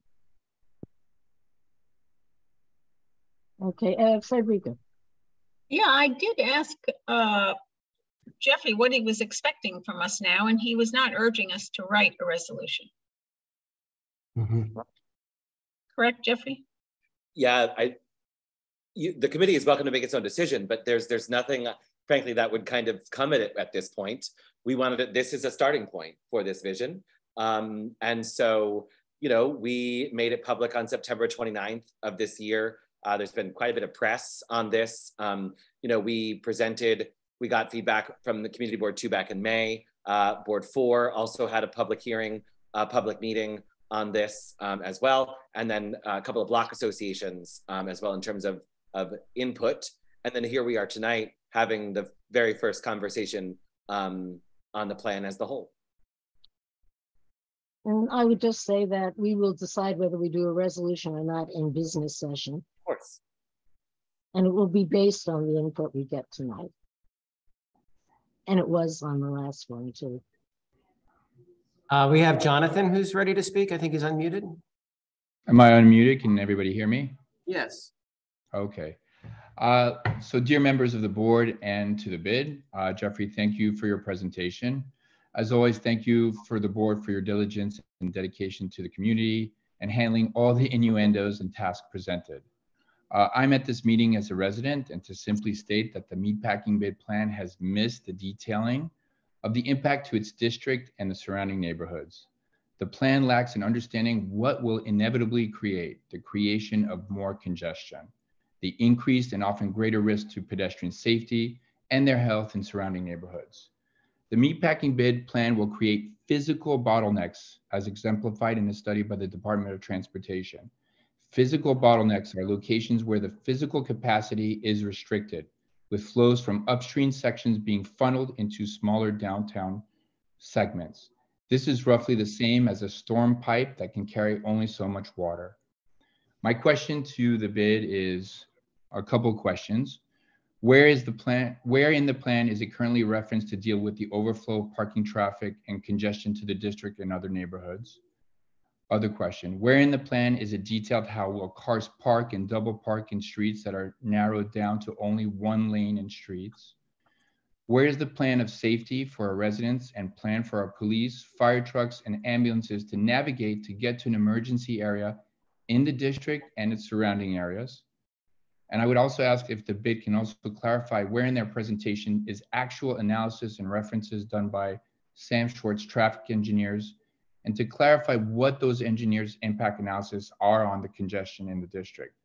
Again, the open program, I'm in full support of it, but it must consider all members of the community, those who walk, those who bike, and those who work, and those who drive, and those who live in CB2. In the end, I would think that this committee's focus is and has always been about the safety of its residents and not about a design and a plan that by consequence increases congestion intensifies safety issues, and hinders access to parking and flow. Hey, Jonathan, just wrap it up. Thanks. Uh, in fact, it should be the exact opposite. And again, thank you again for everybody's participation. And I'm always willing to help in trying to better the community. So I'm here, Jeffrey, if you need me and any other members. Thank you. Thanks, Jonathan. Jeffrey, do you want to address that at all, like the Sam Schwartz portion or? Um, I mean, I guess the, the couple of factors are, you know, there's no parking today on Washington Street. Um, it's commercial only, uh, loading and unloading, and that would continue under this plan. Um, in terms of emergency access, we deal with that regularly, and our open streets have actually, um, this is the case in, in a lot of the open streets in the city, but um, like an ambulance can get cross town quicker on Gansevoort Street um, when they've got to jump out and move those barricades than when it's it's blocked with traffic. So um, in our discussions with DOT and FDNY, um, that that's been the the sort of the internal reaction. Um, and I guess I go back to the fact that this is a vision uh, that will be sort of filled in with detail as we take um, each project up along the way. Okay, thank you. Is there anyone else down that is looking to I don't talk? see anyone else that hasn't spoken already, no. Okay, Uh, so. Pete then- Davies, Pete Davies has just raised Oh, his hand. Pete Davies, hi Pete. Let me go Can ahead. we elevate Pete? Promote. I, I've tried. Here we go. Hey, Pete, Okay. Uh, thank you. Yeah, I was just curious, um, when you're doing the visioning, does that include uh, analyzing financials? And if so, what is the projected cost of the capital plan that you've presented? Thank you. Sure, uh, we did not. That is a sort of a next phase undertaking um, that we would do, Pete. Um, there is a formula that um, engineers and stuff like that use, and we haven't gone that route yet, frankly, because um, this is super broad, and we didn't, from the bids perspective, I didn't need to be spending our money on a on a budget that is not even realistic given that each project needs to be taken sort of individually. So down the line, as we approach one, we'll obviously be having that conversation and that will all be a part of our next discussion. Yeah, oh, yeah, I just wanted to kind of chime in here um, to address some of the concerns that have been raised uh, by the by the public. M- my understanding of what is taking place today is an overarching presentation of what the meatpacking bid in conjunction with stakeholders would like to see happen within uh, the area.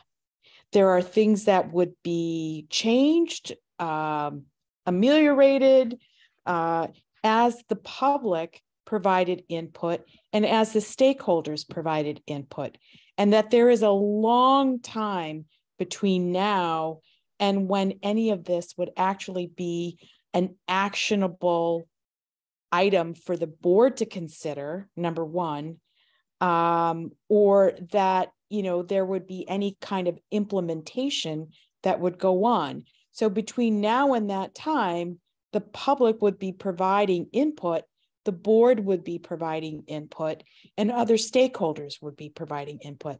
Jeffrey, am, am, am I incorrect in my? You are 100% correct.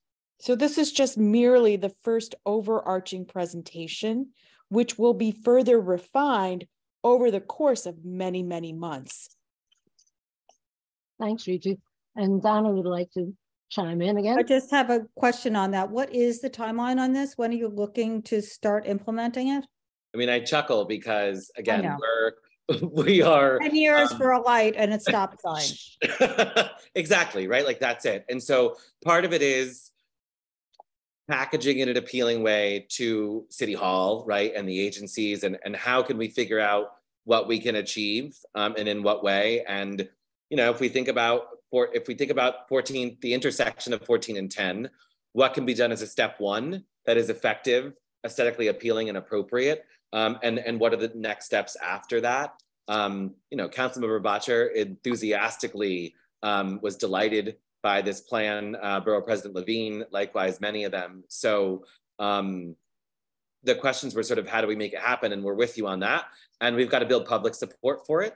Um, to show the city that this is definitely something they should should take up. But Donna, if you like, if I think from um, you know, just to give you the example of Gansevoort Landing, we had a follow up meeting with the with DOT after you know we presented to you guys last month.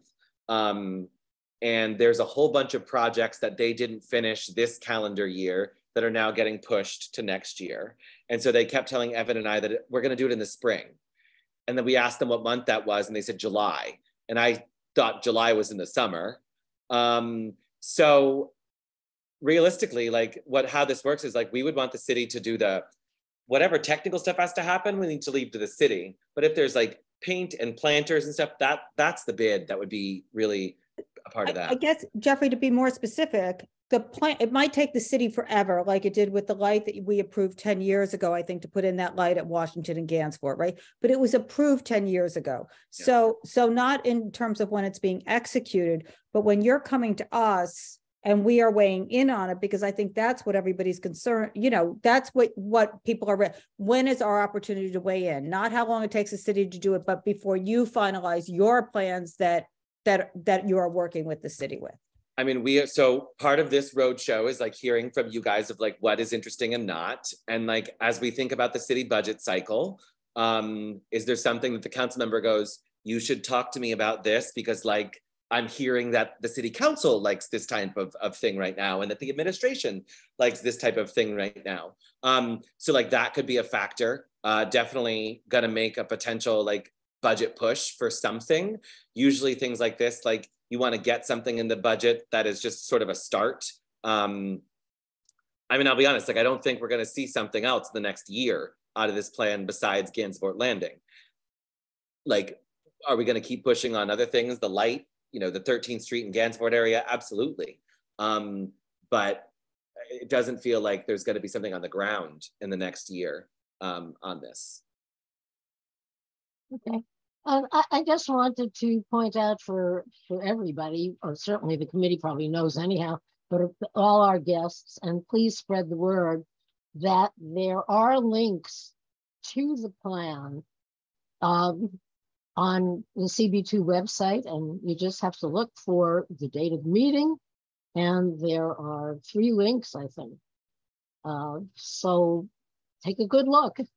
And in case you haven't taken a look, and, and please spread the word to others to take a look too. And I think we will move on now. And the next uh, presentation is. Thank you, Shirley. Thank you, Thank everybody. you for your Nice time. see You all. Thank you Thanks very much, Jackie. Evan and Jeffrey. And uh, we'll look forward to hearing the next steps. Thank you. Uh, okay, Jeffrey Rowland says he think like the presentation. He's looking forward to the next six. Thanks, Jeffrey Rowland. Uh, so anyhow, we're getting a presentation and of a design concept for a very different area of Community Board Two, and that's on King Street, uh, off Hudson Street, be between Hudson and Greenwich, uh, for an enhanced King, King Street. And uh, Dan, um, I guess we have quite a few folks to elevate. Uh, so we're starting right now. We've got Chris. I am on it. Yep. I'm working on it. So Yeah, okay. Should, should I mention them again or do you have? Uh, no, it's Neha, Max, Matt, Chris, and Hunter, right? Let's see, Nia, yeah, Max, Matt, Chris, and Hunter. Yes. And also, uh, okay. And, okay. Oh, and here's Samara Karasik, who's from the Hudson Square bid. Okay, we've got Ni- Neha and we've got Chris. Um, we've got Matt. That's three. We've got two more to go. Think Hunter and Max, right? We got Max, Yeah, who am I missing? uh, Hunter, Hunter Newman. I don't know if he's here. He's Oh, not. Matt, do you know is Hunter Newman here? It's okay if it's, okay. uh, hi Shirley, it's Neha. Uh, It's okay if Hunter's not here. I just wanted to make sure that I'm able to present, um, pull the presentation up on screen. Okay, fine. So then let's See pull the if screen you for now. can. Did you try the screen? It says multiple users can share.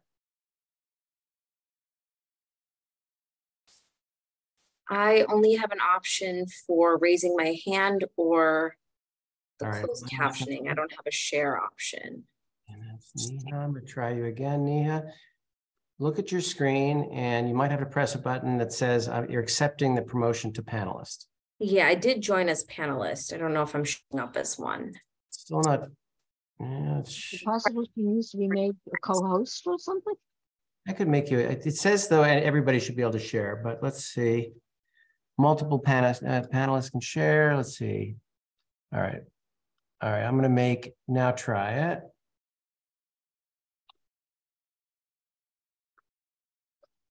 Try again. Everybody should be able to share.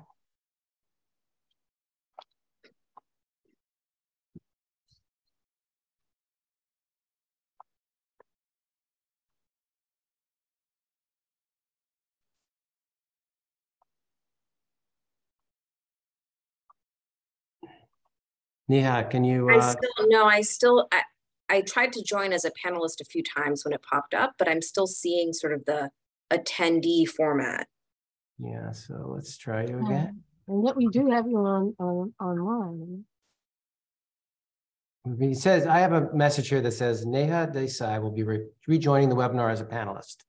But you're Great. not, but it's not going. It's not going now.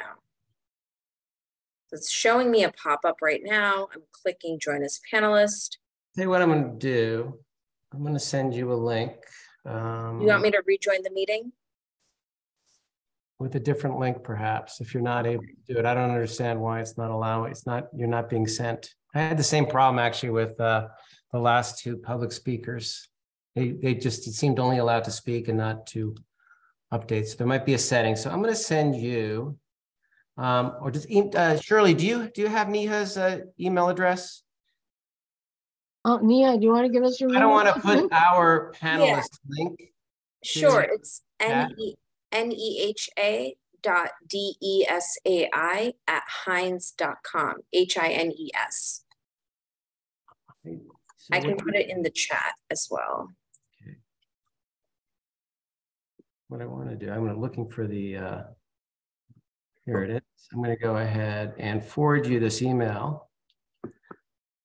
And you just put, uh, it in the chat. Let me go down the chat.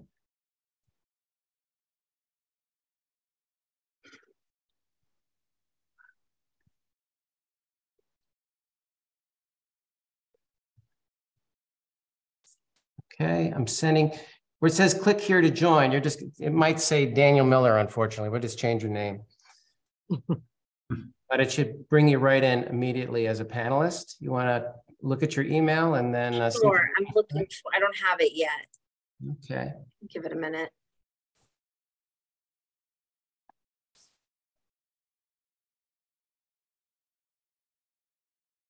Here it is, okay. Thank you, everybody, for your patience.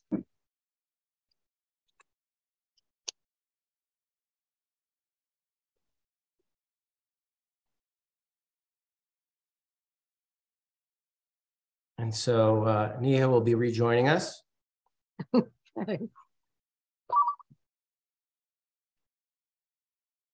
her Zoom reconnects. The new link.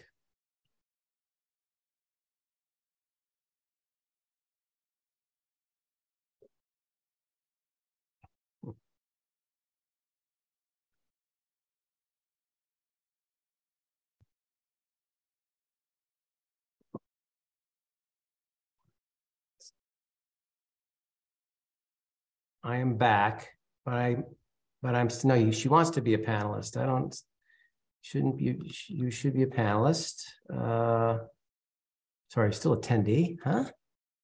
So odd. Why would you be an attendee? Did, and you press the link that said join from a PC, Mac, or Android? The, uh, the click here to join? Just said she doesn't see the share screen. Yeah.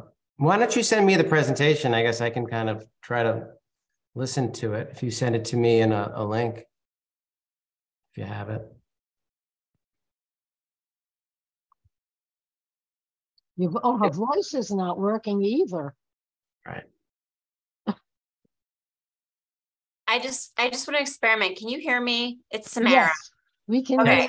So I don't know if you put me on in a different way. Like I, I definitely can't share my screen or anything or my video, but you can hear me. I wonder if you did something different and perhaps Neha could at least do it via audio if she could send you the presentation. Yeah, that's what I was recommending. She sends me the presentation and she'll do it by audio. It doesn't seem like, uh, it, it- you know, it's allowing me to say talk, but when you press promote to panelist, really nothing happens. So um, I just tried it with Chris, trying it with you. Neha's off now, I think. She's not on anymore. Hey, Dan, Chris Roth is here. Yeah. We, Can we you hear you, Chris. uh, Chris, you're, are you still a panelist or your attendee? I believe I'm a panelist, but I, I can't see anything to. He, he's a share my screen panelist. Yeah. No, that's great. So it worked for you. Let's keep trying it. I also And there are two, Sa- there are two Samaras um, on as well as panelists, by the way. Uh, I don't know that she's showing up in attendees. My panelist doesn't show either Chris or the other woman as panelists. Really. Oh, Neha is asking Dan to send her your email and she'll send you the deck. Uh, I think I sent the email that uh, I just sent to you for the invitation to, you just reply to that, and that's my email. I just sent you the invitation, Neha, to get into the become a, use my link for the, to be a panelist. It, it came from that email address. But I'll He's send saying, okay, will do. All right. Okay, we hear you, Neha, now. We're, we're moving there. You have Max as well. I just want to confirm my voice is working. Your Yes. voice is working, Max. Wonderful.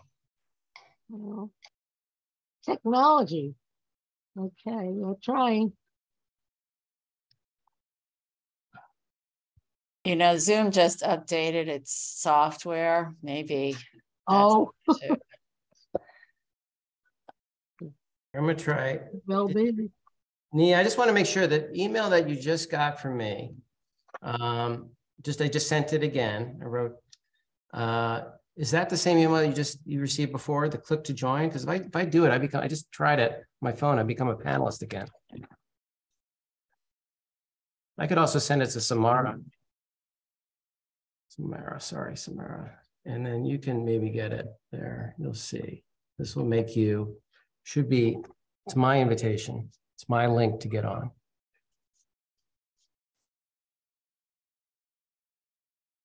Okay. Okay. Yeah, I did gather that I, from some input that that's changing of of the versions of the Zoom can have an effect, but too late to worry about that. Yeah, I'm Now looking. Neha's back as an attendee again. Okay. So I have the power, uh, Oh, power. okay, Samara's going to get off and try to get back on. I have Well, this. You have two of you, Samara. Okay, I'm going to share my screen just for now until they be, they see they can share the screen as well, because I have multiple panelists can share it simultaneously. So if you get the opportunity to share, you should share. Um, and here we go. Oops. So far, a blank screen. Yeah, that's a blank screen. That does, that didn't work. No. Hey, Dan, do you want to make me a co-host and see if I can do it? You're doubting me. I've been doing the, the timer and everything. It's, that's not, let me just try it one more time. Let me just say that Jeffrey Rowland just said the the current There, version is Here. five point one two point two. Oh, we got it. We got it. Yeah, yeah. I just pressed whiteboard instead of the actual presentation. They both looked white. Hey, Dan, um, Neha and I are in the same office, so we'll just both talk through my computer if that works. Yeah, sure. Oh, that's fine. uh, Just making sure that my page turning, just say turn page and I'll do it for you. Perfect. Perfect. So you guys can't see us, so unfortunately, right? No. Right. Okay, well, you're gonna have to use your hear you, imagination. I thank think I've. I think I've gotten a chance to meet um a few of the folks on on the call, so uh appreciate the time here and we'll try to keep this presentation pretty brief, um so we can move on to the commentary section, but we're sort of convening uh here today to talk about the public improvements that we'd like to complete on King Street, which is, um, maybe we can go to the next slide, Dan. Just to orient us here, here we are in Hudson Square. We are um, looking to do some improvements along King Street, which is between Greenwich and Hudson. Um, just zooming out a bit, um, you know, I represent Hines along with Chris, um, who's with me here. And Hines took on an, uh, uh, an asset management assignment along with Trinity Church and Norges Bank to own and operate 12 buildings that are in the district and adjacent to the district. So this venture dates back to 2016, and it's a it's very much a long-term ownership structure where whereby we really view ourselves as um, stewards of the neighborhood, and we want to, um, you know, when we took on the assignment, we took a step back and took a look at what improvements we could make in the neighborhood to to continue its transformation um, as uh, stakeholders in the district. So why King Street? Um, we really took a close look at the neighborhood when we um, you know, uh, got into this um, acquisition and identified this street as a good candidate for improvements for green space. Um, this street terminates at the UPS loading docks, which you can see um, takes up about four blocks in the in the district, and is generally a very much an underutilized street. So, sort of building off of the prior presentation where we heard about how do we repurpose space to make it more useful to the constituents in the neighborhood, um, this seemed like a, a great place to start. Um, we've been working with the DOT here for over three years now to um, really work through what we can actually do here. This particular block has very wide sidewalks and, you know, our ownership um, owns the buildings on either side of the street, which makes it a lot easier to get um, the approvals done, you know, in terms of aligning interests. So um, maybe we can flip to the next page here's a, a map of, of the area here. And as you can see, and as we all know, this district has historically been a commercial and industrial district, and um, it's going through a big transformation right now. And looking at the, the developments that are coming online and the expected population increases, um, you know, we think adding extra public space, specifically in the northern part of the district, will help provide more seating and more public amenities to the people. Um, you know, one thing we heard in the prior presentation as well was really how do we um, take assets that we have, you know, that are that are here and not being used and convert them into something that really um, provides uh, amenities to all the different folks that are in the area. Um, so as we look to sort of take this on, we worked pretty closely with the bid. Um, they've undertaken uh, a lot of this work as well up and down Hudson Street and we really worked hand in hand with them to draft off of that plan and to extend it along this extra block. Um, the interesting thing about this street is, is because it terminates um, at the loading docks, it's primarily used in the mornings for trucks and in the evenings for when the UPS trucks return, as well as the loading docks for the buildings themselves where we have deliveries that come in and out. So between the hours of call it, you know, noon and, and four and then again in the evenings it's a very quiet street which um, means that you know there's an opportunity to make it a little bit more of a public um, gathering place as we've noticed you know post covid um, the streets here have really filled up the seating along hudson is pretty much full on a daily basis when we walk you know out to get our lunches um, the, the seats are taken up. So this project is going to add a lot more seating in shaded areas for the public. Um, and I and I also want to just emphasize that while we're focused on King Street in this presentation, we also have broader initiatives in the district that go hand in hand in, in sort of the neighborhood placemaking that Chris will get into later, which includes um, improving the retail environment, increasing lighting levels, and um, in, in expanding on the art program. I think we can go to the next page. I'll turn it over to Max here to talk through the site plan. Hi, yeah, Max Cohen from the Future Green Landscape Design Team. I've been working on this project for the past few years with um, the Hines team and DOT, and as as Neha said, really launching off some of the great work that's actively being installed from the bid along Hudson Street, and figuring out how to work within some of the the limitations of the existing site to create a really great space for the community and a linkage for people to get safely down to the river and and pause on the street. Um, currently, this the street's about 380 feet long by 80 feet wide. there's a relatively generous sidewalk on the north and the south of the street. There's about 15 feet on the south and close to 30 feet on the north of the street if you include the pop space for 375 Hudson.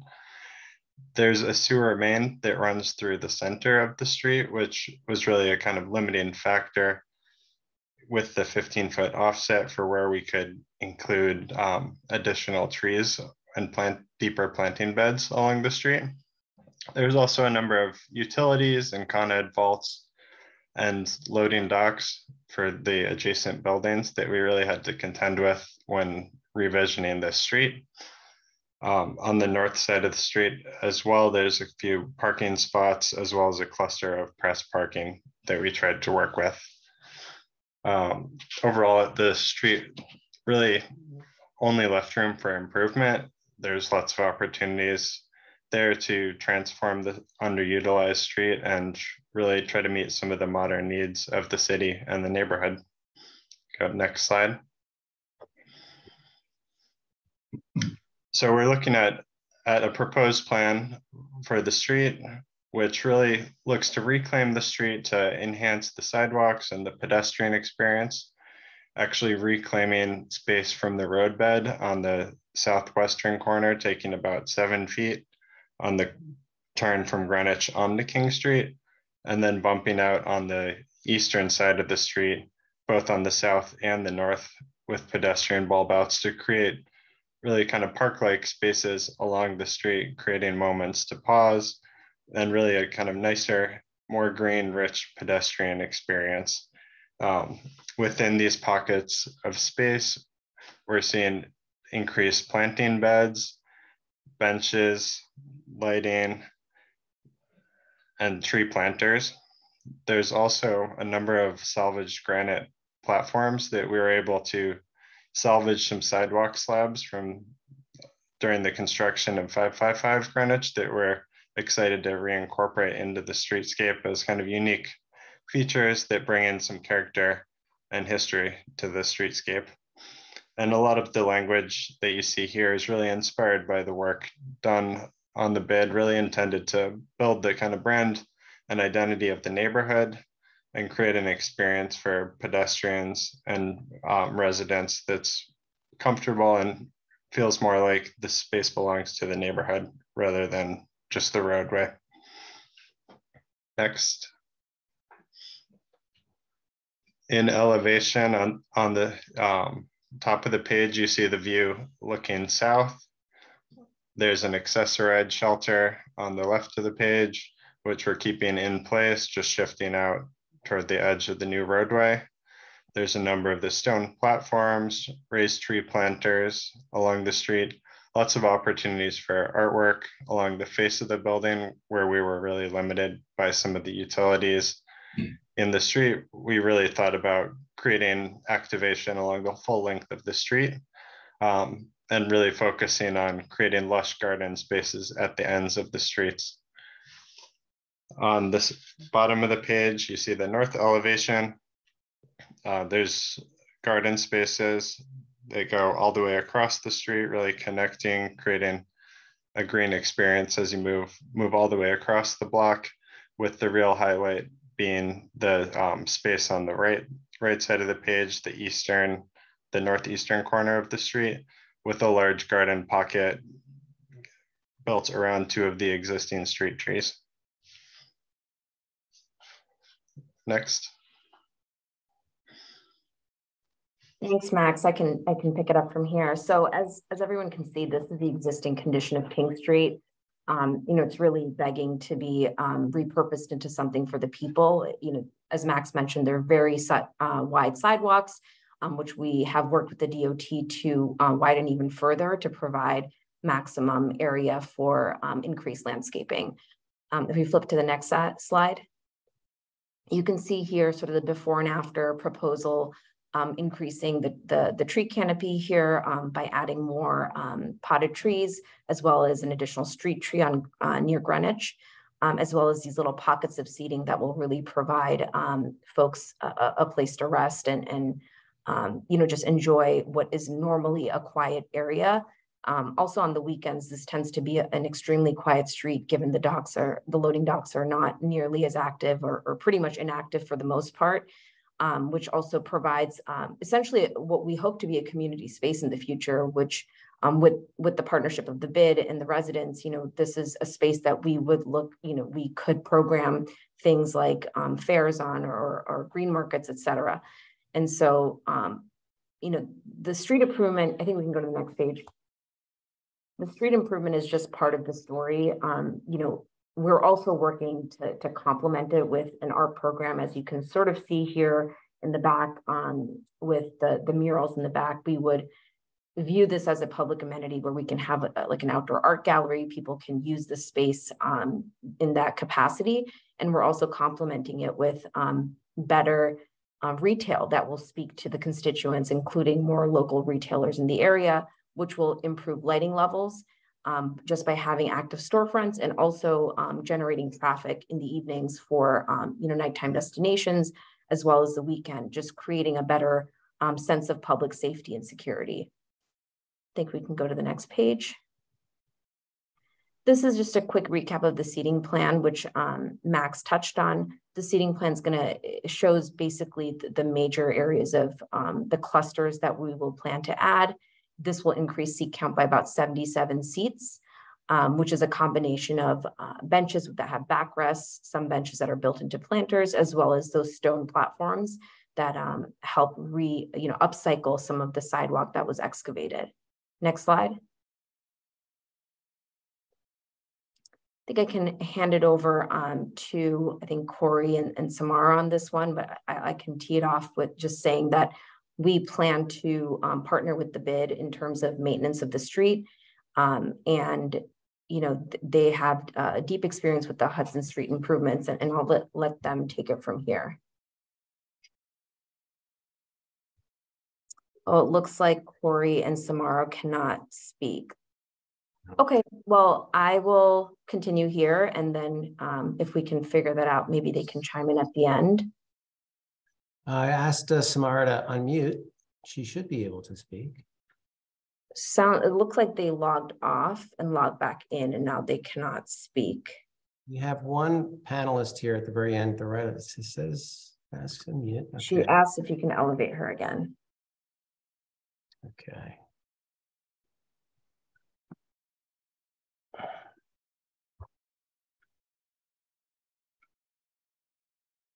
I uh, requested promotion to panelist. I'm asking to unmute, but she says talking is permitted, as you can see. So Actually, you can see me doing it. I'm trying to promote. I'm trying to promote. Well, nothing is coming through on her end. Yeah, um, weird. I can I can just give a little recap then. You know, basically we've worked pretty closely with the bid to date to make sure that the details of the plantings, of the the tree guards, of um, the benches, everything and the pavers as well really matches their standard. And the purpose of that is to make sure that we um, make it easy for them to become our maintenance partner for this for this project. Um, it's a natural fit for them to you know continue given that they're already ma maintaining maintaining the Hudson Streets um, stretch, and we will be working closely with them as well in terms of um, making sure the landscaping we pick, pick is complementary as well as um, using their maintenance mm-hmm. contractor to make sure that um, when it's planted that it survives and, and that we pick the right species, et cetera. Um, you know, they've learned a lot from um, their improvements in terms of um, what's working in terms of keeping the streets clean and safe. And so we will really look to them to be a great partner and we'll also be, um, you know, reaching out to the community um, to understand if there's any issues that that from a you know practical perspective that are coming up you know how we can address those and make sure that we solve them um, uh, so that they don't persist i think we can go to the next slide did I skip one? There we go. Sorry. There you go. All right. I'll hand it off to Chris over here. All right. Thank you, Neha. So um, in short, we've come a really long way on this, and I want to give a big thanks to Neha for managing this process on the Hines side. Um, my name is Chris Roth. I'm a managing director with Hines, and I've been overseeing the asset and portfolio management of the Hudson Square uh, joint venture for a number of years now. Um, and I also want to say thanks uh, for all the tremendous work to our partners at Future Green, Kassir, The Bid, Philip B, Langan, and the list goes on. Um, high level, I first met with the Department of Transportation to discuss this project in the summer of 2017. Um, I just mentioned that simply because I feel it really highlights the fact that, as Neha said, we really consider ourselves a long-term steward of this neighborhood. Uh, this catch stretch of King Street between Greenwich and Hudson really jumped out to us immediately on this assignment in 2016 as an opportunity for enhancing the public streetscape of the neighborhood. Um, you know, Dan, we can jump to the next slide. Thank you. Um, and really fast forwarding to today, King Street continues to be deeply aligned with our sort of community-based efforts uh, to date. You know, for starters, we've deployed numerous public art installations across the portfolio, helping to further create a sense of place and identity. We've introduced and continue to bring very unique and diverse uh, small business and local uh, retailer offerings to the neighborhood, which really have added new life and activity to the street. Um, and as demonstrated a few weeks ago with the painting of the 35 UPS gates on Greenwich, um, we've executed a number of successful and heavily attended volunteering efforts uh, where we and our tenants have given back and taken care of the neighborhood.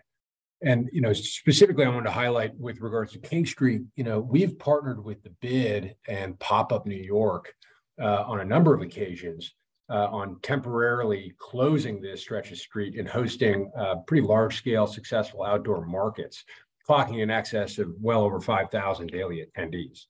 Um, so as everyone here is, is well aware, we've still got a long way to go on executing this project, given the various agency approvals required uh, moving forward.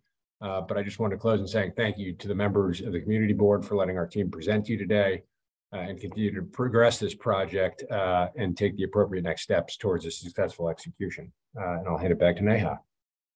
Thanks, Chris. Um, you know, as as everyone can see from this, you know, we're really taking a holistic approach in our placemaking efforts at Hudson Square. This is an integral piece of it. Um, you know, in, in, conjunction with a lot of the the art improvements and, and the retail upgrades that we're going to be doing. I hope that the constituents here start seeing um, some of our hard work that we've undertaken over the past two years um, come to life as um, a lot of these retailers that we've talked about are starting to open their doors to the public, you know, call it starting spring next year through winter of next year and beyond. And so hopefully you will start seeing the, the fruits of our labor on all fronts. And um, you know, for anyone who's interested, we love love for you to reach out and participate in some of our other efforts um, if they interest you. I think I can hand it back to Shirley to open it up for Q&A.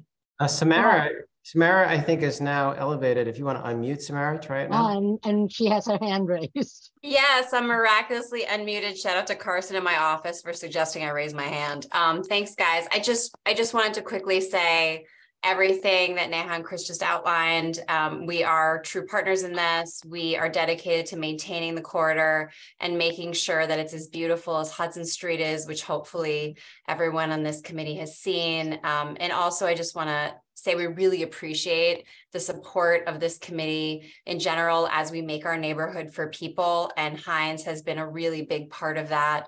I hope you guys have seen the UPS gates. There's a lot more of that that we're all hoping to do together. And uh, Corey and I are here. I think maybe if Corey raises his hand, he could say that too. But we have really already discussed how we will make sure to maintain this and make sure it looks as beautiful as you see here in the renderings. And we have we have a joke in our office that we turn renderings into reality. Um, and we really expect that to be the case here too. Thank you, Samara. Uh, first, we will hear any questions from the committee, and I see Dan first and Frederica after the committee. As a board member, you come next. Yeah, I, I live in the neighborhood. I'm also CB2's representative to Hudson Square Bid, so I do the great work that I, I know the great work they did. This is the first time I'm actually seeing King Street. And it's just so that everybody understands, this is not a thorough street. This is like a street that's very rarely used. There's not a lot of car traffic. We do lose parking, but um, in your study in doing this, did how did how did losing the parking come up? Was it just what is the parking regulations on that block? So the, this block primarily has press parking and actually as part of the DOT review, we had to preserve those parking spots. So there is um, a certain amount of parking lane that was preserved that you'll see on the plan um, shown there. And, and we didn't really touch that. It might have moved a little bit, you know, left or right, but the, the stretch of parking was left untouched. And the way we were able to achieve the, the area that we need for landscaping was really through the bump outs, which required extensive studies with the, the truck turning radiuses. As you can imagine, we have some pretty big trucks, you know, turning in and out uh, along Greenwich and um, uh, onto Hudson Street. And so to make sure that, you know, that was possible, we um, had to realign the curbs um, more times than we'd like to admit to, to make it work. Great. And I think it's a wonderful addition to a neighborhood. And I love the the touch of the the bench, which is, you know, which gives it historical relevance. I think it's uh, wonderful. Thank you for presenting it to us. So uh, anyone else on the committee? I think not. I don't see any other hands. So Frederica, it's yours. Thank you. Um, it, you're, you are doing beautiful work. And uh, I thought it was funny when you said you turned renderings into reality. So when I saw the two mature trees on the right-hand uh, part of the slide, I wondered, is that, are those tree pits or are those planters? And if they're, and, and what's the size of them? Because those are, those are supporting very mature trees. Well, I believe those are pits, but I'm gonna let, those are street trees. And they're already there is what you're saying. There, those are already there. There's two street th trees and then we're, let's see, there's three street trees. And there's when, a okay, my, I guess my question is when you add the trees, what is the provision? Are they planters? Are they tree pits? And what are the what are the dimensions? You're adding one street tree, um, which is on the southwest corner of the plan. And Uh-huh. that will be, um, you know, uh, um, a pit, and then the rest will be in planters, primarily because of the utility offsets. So what's the size of the of the planters? So the, Max, those two, those two, jump in there. Those are Yeah, I understand those are already street trees, but when you're adding other trees. right, yeah, so, so those two trees are the two existing pear trees, which have mm-hmm. small kind of DO, or DOT standard tree pits. I think they're about four by six around them. And so we're, what we're doing is something you see along Hudson Street, where they're actually creating much larger planting spaces around these trees in more of like a forest condition that is a much better environment for the trees to grow and mature and creates a creates a nice understory planting at the base. And we're also incorporating these low fences around to kind of keep dogs out and keep the plantings looking good. So what what you see across the street is some of the larger planting areas. Given some of the electric lines and utilities and Con Ed vaults, we weren't able to create as many at grade tree conditions as possible as we had wanted to. So a lot of the trees are in these really generous size planters that meet the kind of um, PDC recommendations for um, for street. Um, generally, I think they're about 16 um, square feet a minimum. And then at the far edge, the southwestern corner of the street, there is a quite large planting bed that houses the one one spot where we're able to include a new street tree. Um, if I just want to chime in, um, this is in line with the Hudson Square standard, and we've planted or retrofitted more than 500 of these throughout the neighborhood. Um, and our, our data analysis is already showing they're growing faster than your average New York City street tree and bigger because what you see here too are the permeable pavers. Like you've got the big planter, but then underneath the, the pavers actually absorb more water. And that's great in terms of climate change and environment and dealing with flooding. It also enables the trees to speak underground so that they grow bigger and hardier and healthier. Um, so, you know, we love seeing more of these designs and, you know, we love seeing it on King Street and we hope that this is something we see more and more around the city because we're seeing it's really successful and makes a huge difference in terms of how you feel walking around the neighborhood and the green canopy and the temperature even is lower in the summer. Very exciting. Thank you. Yeah. Okay, then I think that um, that's that's about the community board and the committee. And now I've got a lot of questions. So uh, to start with, I'm curious as to how many parking spaces are there? I believe it's 120 feet. So I, I'll have to go back and get back to you on that, Shirley, to confirm Oh, the exact number of press parking. Press. I guess it- you said that it was the same amount of parking as there was before, right? Yeah, we have, we've left it unchanged, but I, I'll have to confirm the exact count with you. Oh, okay, I- I'd be curious, yeah, and and I can then share it with the committee. Yeah, I believe uh, it's about seven, seven spots. I think there's five press spots and two other spots on the um, northwest corner. Oh, okay. Okay, so, and the other thing was, um, the other thing, that I have quite a few things. Uh, the, the, street lights, somewhere it had said that, um, the existing street lights were lo- relocated. And I just wondered, what kind of street lights are, are they historical? Are they Cobra? Which type are you using? Is something new? It's a standard DOT street light. Oh, that would be the Cobra probably, right? You know? That's correct. Yeah. So there, there was one existing street light that actually got changed with the addition of 555 Greenwich that Uh-huh. DOT wanted to relocate across the street. So that's, the that's the one, one addition Yeah. to meet, meet the light levels. Curious, yep. Co- Historical streetlights we always love, but know, couldn't get them, okay. Uh, another question, Access-A-Ride, I was really surprised about that because I always think of an Access-A-Ride as kind of a, a different type of environment. So can you just describe what it actually will be and how it will be used and so on? Sure. So there is an existing Access-A-Ride stop on the that southeast corner of the street. It's it's Huh. currently a glass kind of bus shelter with a bench in it. So we're actually just relocating that to the edge of the street with the with the shift of the curb edge. So Sure. it'll look kind of like a, a bus shelter then, right? Yeah, yeah. So it's essentially like a bus shelter, a covered covered bench for about four people. Um, and that that was important to us that we kept that and maintained the accessible route.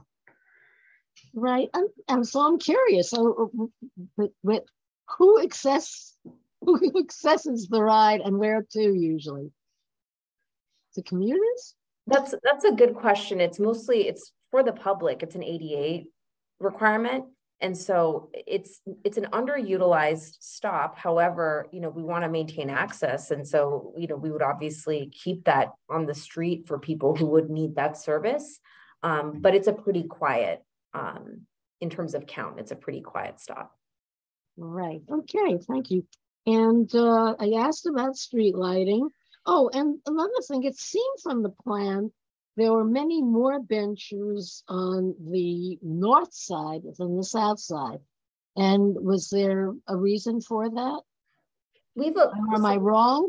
The sidewalk on the north side is, is much deeper a- and there's, there's a lot more, I guess, canvas to play with there. Um, Max, I can let you chime in if you have any other, um, comments on that. Yeah, no, I think I think that's accurate. We really tried to utilize as much of the space as possible, and the stretch in the center on the south was really limited by the loading Mhm. loading docks and a lot of the Con Ed vaults. So that really limited the amount of benches and seating area that we could include there. So we are trying to kind of highlight that zone with artwork along the loading docks to activate it, which Uh-huh. Doesn't really represent a lush lush pocket on the plan, but I think it was kind of the best we could do with the space and limitations. Right, okay, thank you. Yeah, and it's, it's much narrower on, on the south side, I guess, so there's, there's more room, right? Yep, it's half half as wide. Okay, half as wide, wow, okay. And, um, oh, the tree benches. Can you describe that? Uh, how it might look, I, I wish you had a picture of it. When you say the tree benches. Yeah, it was um, that what you said? You- you- okay. Yeah, Oh, so the- think- there's a few different seating types. A lot of them are pulled directly from what you're seeing already on the the bid. So there's Yeah. these large The granite, metal yeah. metal planters, some that have benches that actually wrap them and have a back on them, creating a, a comfortable spot to sit directly adjacent to the trees. So you could sit sit in the shade under canopy and kind of get get really up up nice and close to the plantings without um, damaging them. Okay, and But you do could see have them in like the background of this view, probably best, or in um, that axonometric view that we had up earlier. If Oh, you, okay. and if you flip to the appendix, there should be, um, let me make sure that there is. Oh, okay. So in other words, they actually do surround the tree and then use the tree sort of as the back to, as the back to lean against, right? Yeah, the, the planter is taller um, than the seat height, so that you're actually lean kind of up against the planter and the tree is above you. Mm-hmm. Yeah, I believe there might be some images in here. If Shirley, not, you I can see in the send you- you background. know, I don't have the detail for the bench, Shirley, but we did talk about this. We talked about seat backs in our prior discussion. Right, exactly. Um, and I can send you just uh the spec for it, but it essentially is if you walk um in front of, you know, just the the bid improvements, like in front of three forty-five Hudson, what you see there is essentially the the the type of bench that we're installing. Okay, thank you. Yeah, and I do see the, the regular wooden benches with backs on this perspective. Okay, and the last question is when do you anticipate this to be completed? So that's a great question. And, you know, we're, you know, as Chris mentioned, it's been in process for a long time and, and we've made a lot of progress. Um, we do need to, um, you know, with your support, we need to um, next take on um, PDC. They've completed their concept review and we've gotten sign off on pretty much everything, including the stone platforms here, which which was a great win for us to, to keep those on site. Um, and so we're hoping to go to PDC in December if possible, uh, uh, sorry, in January if possible. So we'll submit materials the next week or two.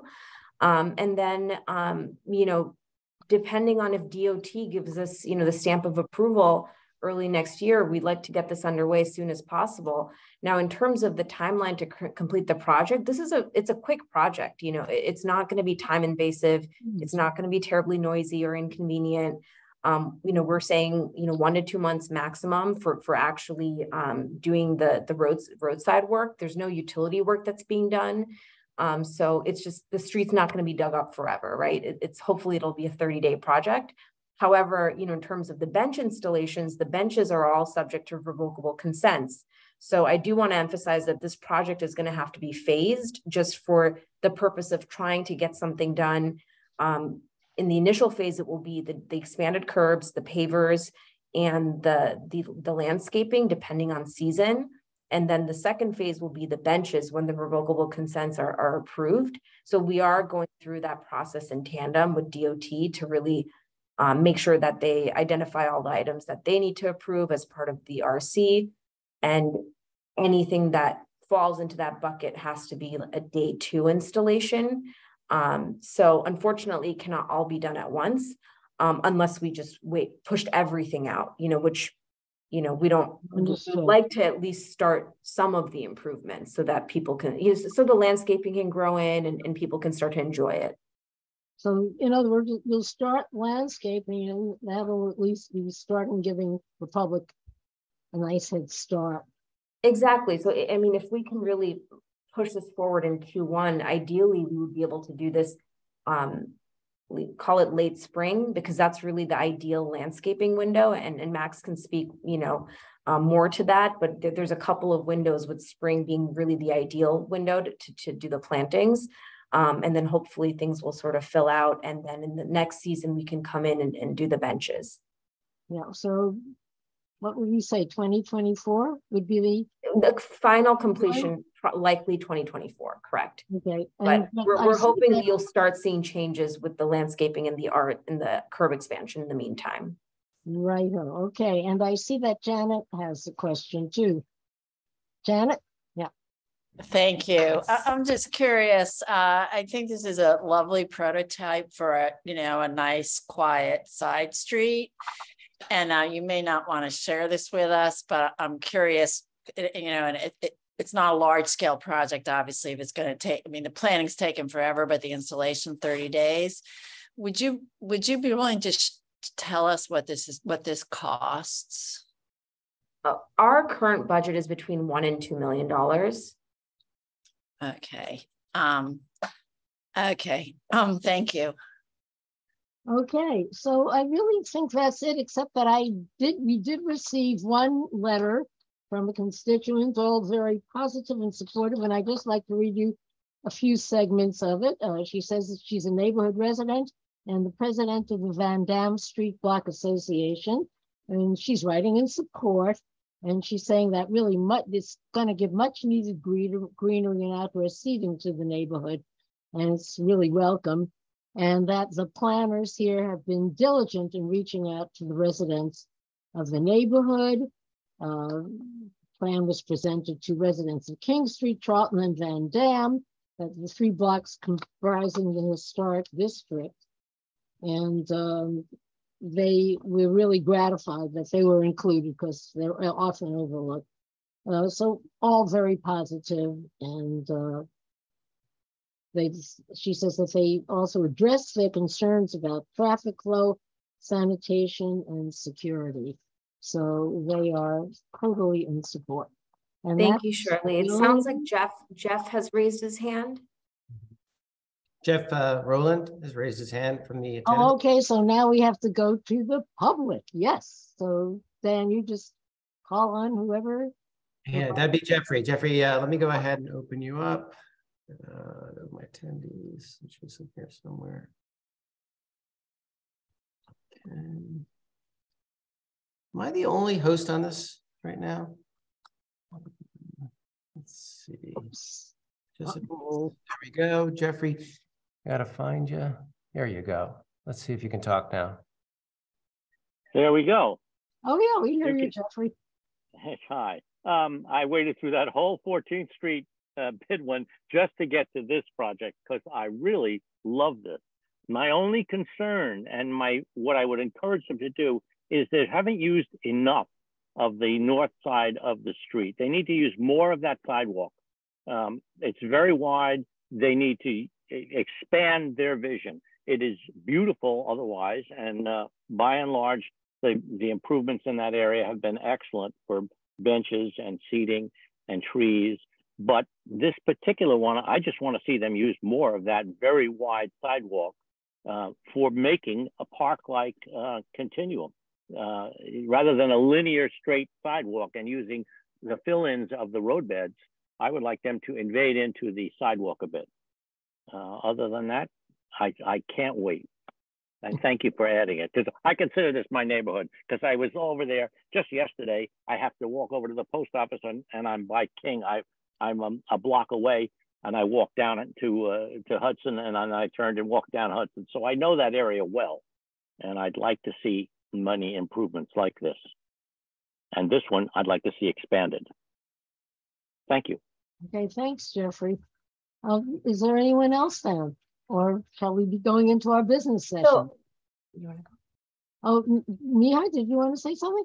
Well, Shirley, do we, do you want us to respond to that or, or should we just? Oh, if, if you'd like to, sure, yeah. I'll, I'll very, very quickly, uh, Jeff, we would like to expand it as well. And frankly, this plan was, uh, was much larger in the past. And unfortunately, given a lot of the infrastructure constraints and requirements of the Department of Transportation, what you see is the max that we are capable of executing. Um, so just, just kind of is what it is, given, um, given the landscape that we're working with.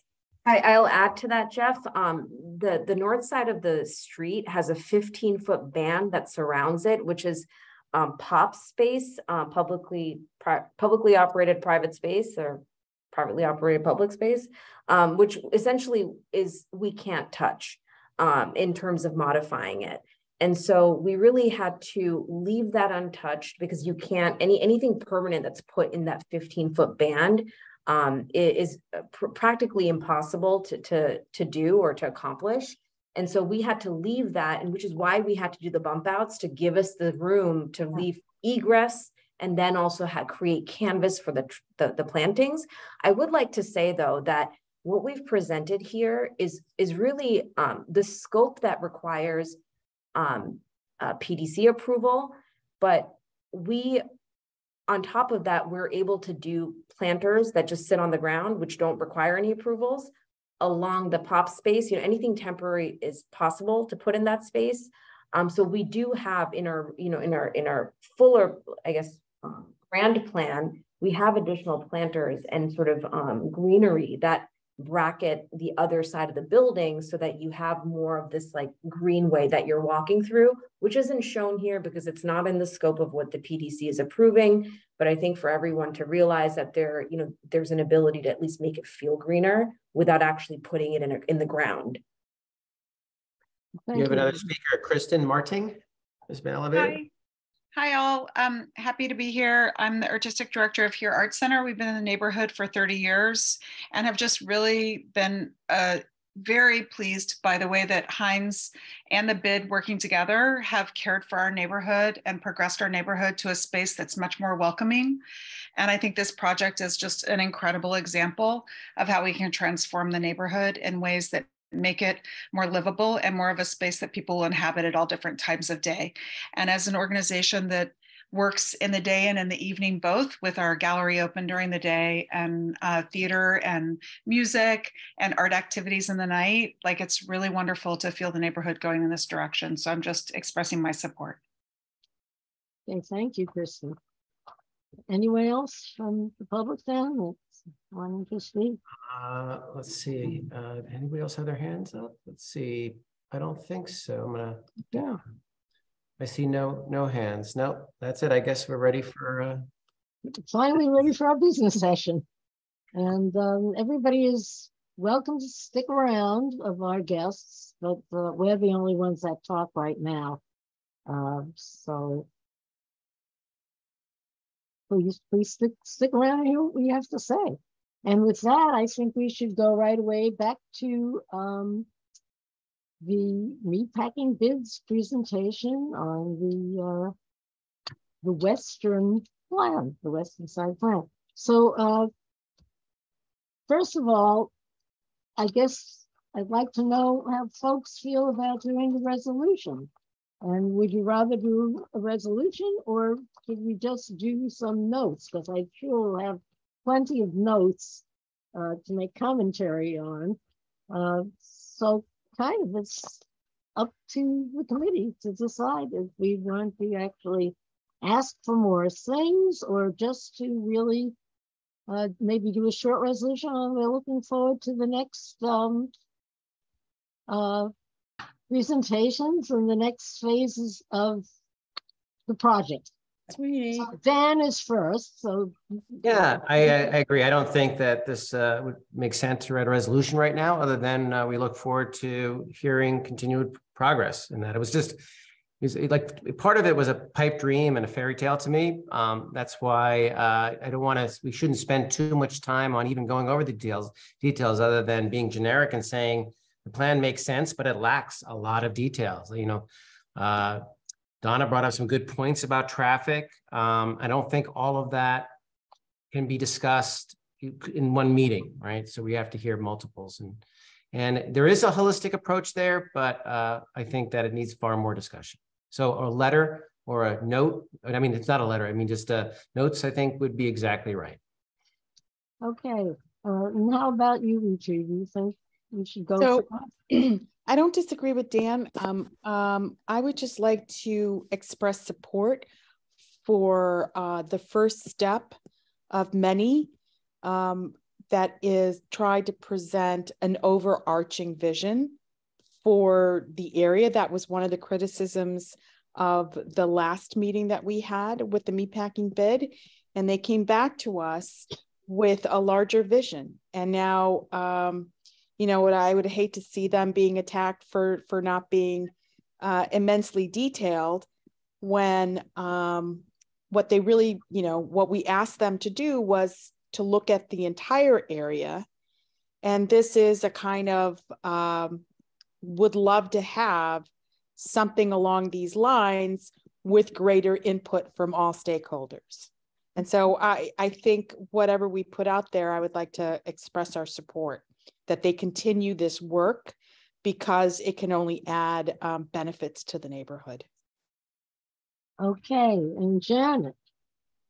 Oh, I'll just second that. Maybe um, if we want to take a vote on that, but I, I agree uh, to give our support. As Jeffrey said, it will also help him advance it if DOT hears that from us. Like a short kind of resolution, maybe enumerating a few of the things they presented, but really short.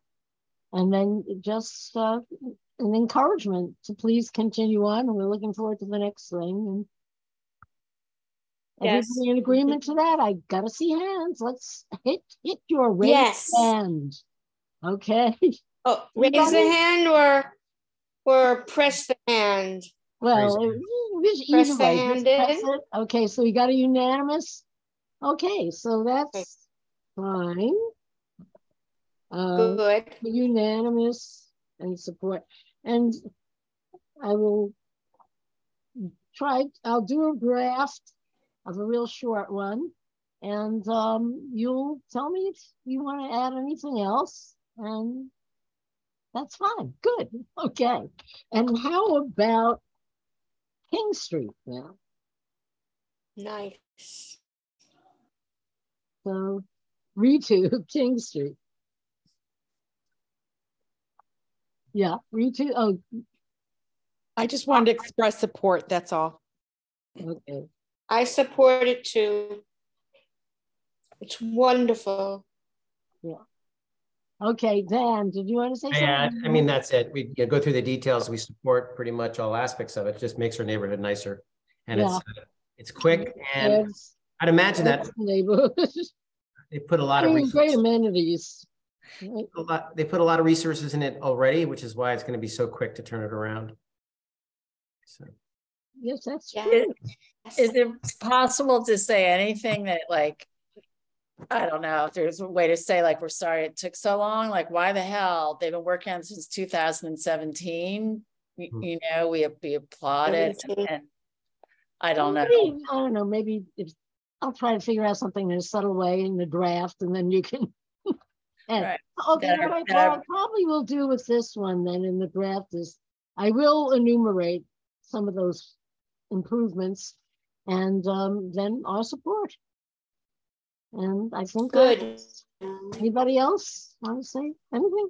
Yeah, have- I just have a, Yeah, Aaron?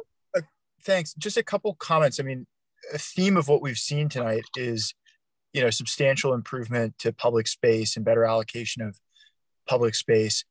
Um, but you know, we we're also hearing a lot about costs and how this is not always feasible or achievable. So kind of similar to what was just said, I think, you know, maybe we can in this resolution solicit not just input on why it has taken so long, but specifically what are the cost drivers that have you know made this two million dollars for a, a single city block, um, and to the end goal of trying to design sort of a a playbook or a scalable process that can you know extend to other city blocks at a cost lower than $2 million, right? So if we can start to understand the drivers of cost, then we can eventually, you know, as a city, as a community board, we can try to scale this type of improvement Okay. uh, elsewhere. Adam, if you want to say something like that,